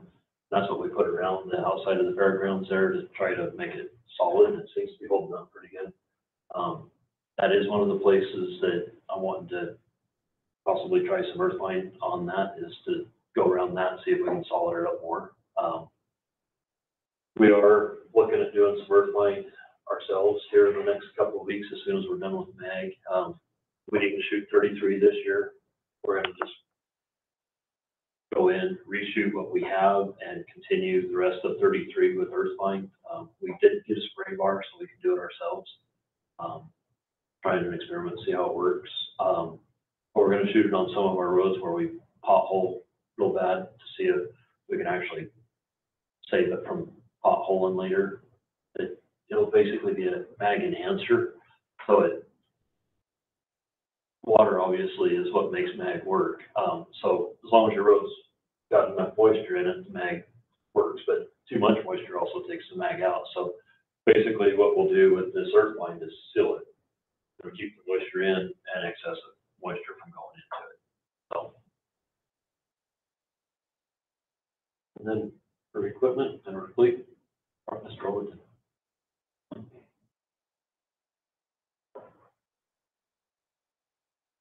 hard to keep it all going. Um, we've had a lot of motor grader issues. Um, we finally got them all back and running, so, um, hopefully that continues. Um, staying pretty good. Um, still got a couple of things out.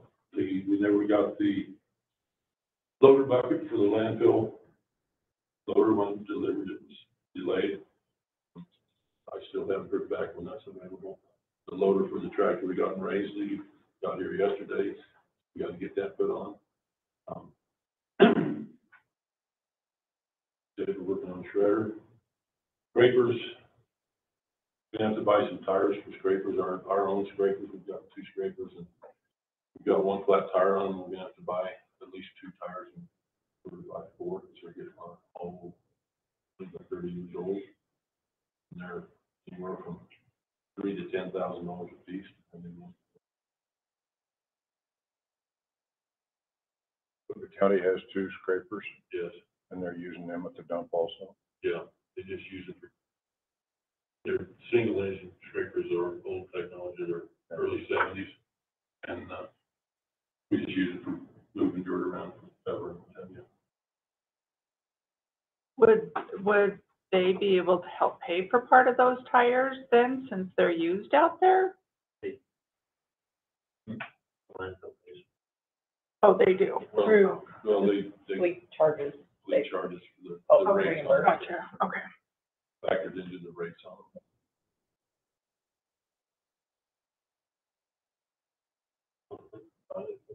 Polaris, you got that in. What's that? The- Oh, yeah, the Polaris came in yesterday, for the sheriff's department. Um, We were supposed to test drive that. Um, it's up there and ready for you. He wasn't gonna say anything. Stop on by. I actually had difficulty unloading it yesterday because it came in a box van. We don't have a loading dock anywhere in the county anymore on this end. So finally found a place to back into a bank up at the fairgrounds and I went home and got my personal ramps and brought down and we pulled it off and now my ramps are kind of U-shaped. But uh, it weighs about twenty-four hundred pounds.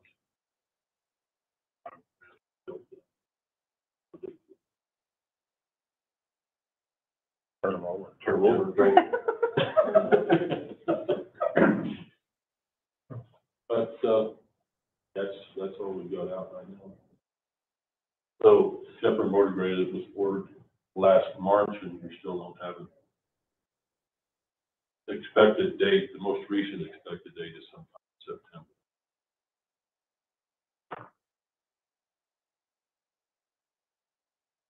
so, um, for, I know it's confusing on these updates because I gotta give one here to main meeting too, I guess, but, um, for engineering, our chip job started the seventh, so they're moving on the chip job on County Road five. Um, they're making good progress on that. Our paving has been pushed back. Um, they're looking at coming in after the fourth, um, on the July fifth and doing the road milling, um, for the start and for that bridge there at Avery. And then they'll come back in and we'll start paving and move forward with that. We will be doing, uh, shouldering on that project because it came in where we need to do the shouldering, so we'll, we'll go back and do that. Um, we are still moving forward on County Road Four Bridge, just waiting on stuff to come back from the state. Um, we're getting close to not being able to do it this year with the time constraints, but we'll see. Um, and Van's also been helping with that culvert up on twenty-seven, um, because when it was originally put in, there was a deal with Division of Wildlife where the culvert had to be so high above the creek so that fish couldn't come up and continue on up the stream. So he's been working with Dave on all that. And You guys know what happened yesterday, so that's kind of on a little bit of a hold at this second, so. Um, as far as road and bridge, we did finish all the mag in Rangely. Um, we're basically done magging with everything except for County Road eight and eight A. Um, we will finish that up hopefully the twenty-second of June will be done. Um, they are magging from trappers out to almost the county line today. And then, like I say, just moving forward with that, getting close, a lot closer to being done. Um, we've also had, still had some flood cleanups and stuff that we've had to do in Rangely, um, one oh nine and eighty-nine. Um, we had Rangely come up and help do some sinkholes. We had a bunch of sinkholes on one forty-two. They just kept showing up everywhere. Um, Mr. Klingelsmith called them in and we went out and Stevie was fixing them and then the grader went into one that we didn't even know about, so. We ended up spending quite a bit of time out there fixing sinkholes and hauling material and pulling material, everything. Um, we also had Rangely come up and help some crack sealing up on County Road eight before the paving. Um. I. We did the radio discussion, so you guys have thirty-eight minutes. Let's, uh, let's bring back the radio discussion, so offline, me and Scott spoke, um, he recommended, uh, when we were talking about it, said four dual band radios would allow supervisors and lead individuals to have a dual band radio for communications, and then we could look at having, uh, the remaining eight as, uh, strictly eight hundred megahertz radios and then do a, uh, do new rather than a wish higher bid. And then we could then, uh, budget for programming. And that way we can move forward on this. But Scott I was, I was thinking about that on our break.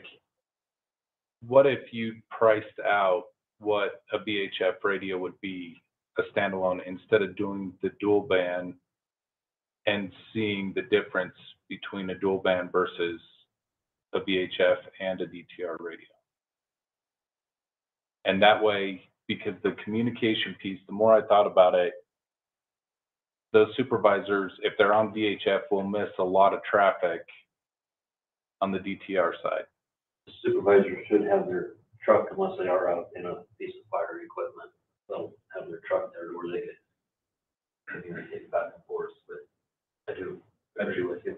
I just think from past experience, it was easier to have two radios than it was to have. Because if you have to relay a message and you're sitting there fumbling around trying to get back. To wherever you need to be, Can, can we, can we do something so that we can, we can move forward? Can we, if we agree on the eight radios for the eight hundred, and that would cover right now the six that are down, and give us two, and then we can then explore the, uh, cost benefits of the other four being either dual band or strictly eight hundred in, in VHF. Then that way we can get, we can get moving on the eight. And, and then we could just do some, some rough figures of saying, you know, eight at, at six thousand, that's twenty-four thousand. Average programming costs with, with Cody is what, between three and five thousand dollars? I don't know, I haven't looked at. I don't know, I'm thinking, you know, thirty-six hundred at eight is twenty-eight, so then if you have another four, I mean, what if sixty? I think sixty gives you plenty of room to be able to The other, price out. the other question I had is, with CDOT, we went away, we were going away from some of the truck ones. Um, they had a version where you could actually put your handheld in it and it would charge and you could run everything through your handheld. You still have the typical mic in the truck and everything, but it was a base unit that went in the truck and would charge your radio and do everything. Um, and you didn't have to buy a separate radio for each piece of equipment. Um, I I can get back with, with them and see how that's been working for them. It was something they were starting when I left. Um, but if we could do something like that on some vehicles and try it, it could potentially save you the truck expense. Nick in Eagle County had those, but if I remember right, he had like a, uh, rack that he could put three different radios in. And I can't remember how it worked, but he could, that solved his VHF, DTR, and he had some other frequency that he talked on, so. But it boosts the signal through the vehicle still and everything, so supposedly it worked. And like I say, it was working when I left, but I would like to follow up with them on that, but could be Got your something that would radio save expense, cut hmm? your radio expense in half. Just maybe not half, because you're gonna have to have extra batteries for it too. Use it that way. Just a thought, So maybe if we just came up with a dollar amount, a not to exceed dollar amount, then you guys can figure it out. just do the eight for right now, figure that out, and then look at the other, other ones and come back to you either in July or once we get some other quotes and ask about those. Yeah, I think, I think we're pretty capable if, if, if the, uh, we can internally do a, a quick review if, if doing a handheld and, and that option in the truck is viable for debate. And that would be a pretty easy sit down between the three of us to say, no, or yes, it, it solves the problems, and then, and then we pull the trigger on the eight, and then we can, then come back and, of let you know on, on solutions we've explored for either dual band, strict VHF, handhelds, kind of what are those, those other options? And then that way, we get the six replaced, we have two on the shelf, and, and, uh, we keep moving, we don't bring them. Do you get a discount for buying in bulk? I haven't seen anything on the radio systems. Because that would be my only thing is, I think Anthony just ordered them and I don't know if we got a discount or not. to be honest with. I, I, I mean, we could easily ask that, and then, you know, if that changes anything significantly, we could give every, give the three of you a heads up. Say, hey, we, we really, should- this deal is awesome, we should, we should go ahead and move on to twelve. But if we don't, we get a negative on that, we can just assume, you guys can just assume, no news is we're purchasing eight, and we'll circle back with the option on the additional four. I, I, I agree with, we just give you a, a dollar amount and you do what's best. for the twelve. I think that'll be easier because then I can get it in this first supplemental and it can be done. And the, the definition of bulk is, is, our definition is ten and theirs is hundreds. Yeah. Worth a shot. I can help with that. Mhm. So I guess, how much are you guys comfortable with? What, what's that figure? There's You thirty, Uh, thirty-six, I think, is, I think, is brand new. Um, and so eight at thirty-six would be twenty-eight, eight. And then depending on, you know, what you did with the other four, plus programming, so, seventy maybe, yeah, I was thinking, hopefully that'll cover it. This would be We'll make without- it work. Hmm? We'll make it work if we have to. so fifty-seven six would be sixteen radios.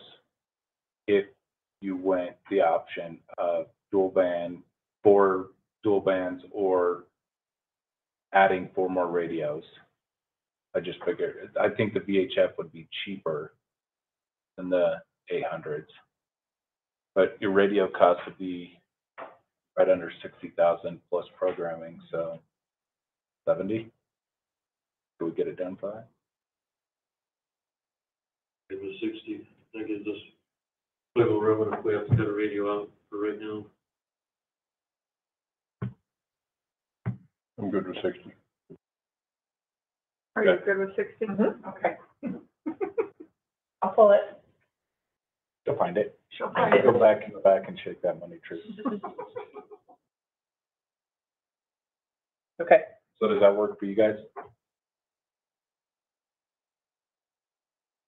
Eric? Always does. I hate that word. Are all of these road and bridge, or they, will they be anywhere else? Okay, Um, on Eric's update earlier, he was talking about the subdivision out there. um, Actually took me out and asked for my opinion on different places and different things to do out there as far as running lines and, um, we even talked, they're tearing up roads with this new spray bar, we might be able to come back and spray if it's been a mag road or anything like that, so. I think it's been a really good partnership. Where it opens up a lot of different things to where you just communicate more. Good. Unfortunately, I've had to work with Don some too. Not so much. Just never liked that. It's like being called into the principal's office. It, it's, it's getting almost too easy to work with, with Scott and Don and, uh, and Lee, you know. Um, This, this organization, I think, is, has helped streamline some of the communication. Allowed us to do a lot more.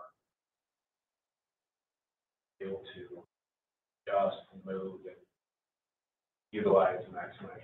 resources Take our original siloed and flat standard that's for you. It really has. We, we had a meeting not too long ago, it was last week, we, yeah, last week. and The three, you know, three of us, and I think at least out busy, but we talked about how this is working, how we felt about group, of course, you know, we're always hypercritical on ourselves, and then, but as, as a collective group, this is working well helping us get some more stuff done. I don't think we could have done before, and then, you know, I acquired Tanner from, from Scott's department, you know, and through those communications, you know, there wasn't the hard feeling. Nice transition back and forth, and I think it helped us to allow opportunity, give opportunity to the, to the employee, and then also make sure that we hurting our other counterpart. Thought that was a poker game and you won. He was not a one. Scott had a better hand, I didn't say that. Like, part of knowing your people and just a good fit, and that was a good fit to help Eric out, so. I think Tanner's gonna be a great employee for us. I can tell you that the residents down there are real. That's, that's really good because that makes the whole county a better. And we did the same thing with Kirsten, um, where they were really wanting her road and bridge, and she was just a great fit out the landfill, and she has been a rock star out there for Cory, I mean, she is awesome. And loves to go to work every day. Oh, man. Attitude, great attitude, uh, hope, but yeah, she's, she is fun. Um, the other thing that we have been working on is we've been working on our reviews. Um, and I also want to let you know that we did open up Ripple Creek yesterday. And hopefully it's open all the way to Yampa. Um, Ripple Creek is open, but it is down to one lane and a spot where we have a slip. So we're gonna monitor that. Um, we may have to close it back up. There's a, there's a slip and then a dip within a quarter of a mile or so. So we're monitoring it, but it is open so that people can come across. Um, and we do have it signed and everything. That up on, almost on top where it historically has been. Yeah, that's where we fixed it. on the other side. Yeah. Um, I also have made contact with, um, the only rock scaling company that I could get to call me back was GSI. Um, I can't get anyone else to call me back. And GSI was supposed to come up last week and meet with me on some rocks on eight, 'cause that one there at Green Cabins is of concern. And there's no way that I, I can see us getting up there safely to bring it down. Um, they're more than willing to shoot it, but, um, we gotta have someone to go up there and do, do stuff with it, so, um, I am waiting to hear back on them, so if they come back with something that's reasonable, maybe we can figure out how to do it. Uh, we've looked at trying to cable it down and everything else, but there's really not a safe way to get up there and do it where I don't, we aren't putting our people in jeopardy. Talk to the operations department, they got people. Yeah. Yes, it's one of those where there's not a lot of safe areas to get in there to do it. We set some ten right up there with it.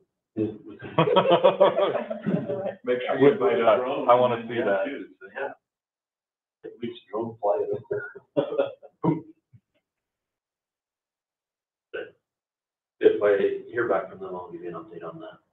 But it is, we've had a lot of rocks come down there this, this year, and that one big one is, like I say, it is a concern. But, that's all I have. Thanks. That's good work. You have all sorts of time now. Well. All righty. We are done with our work sessions.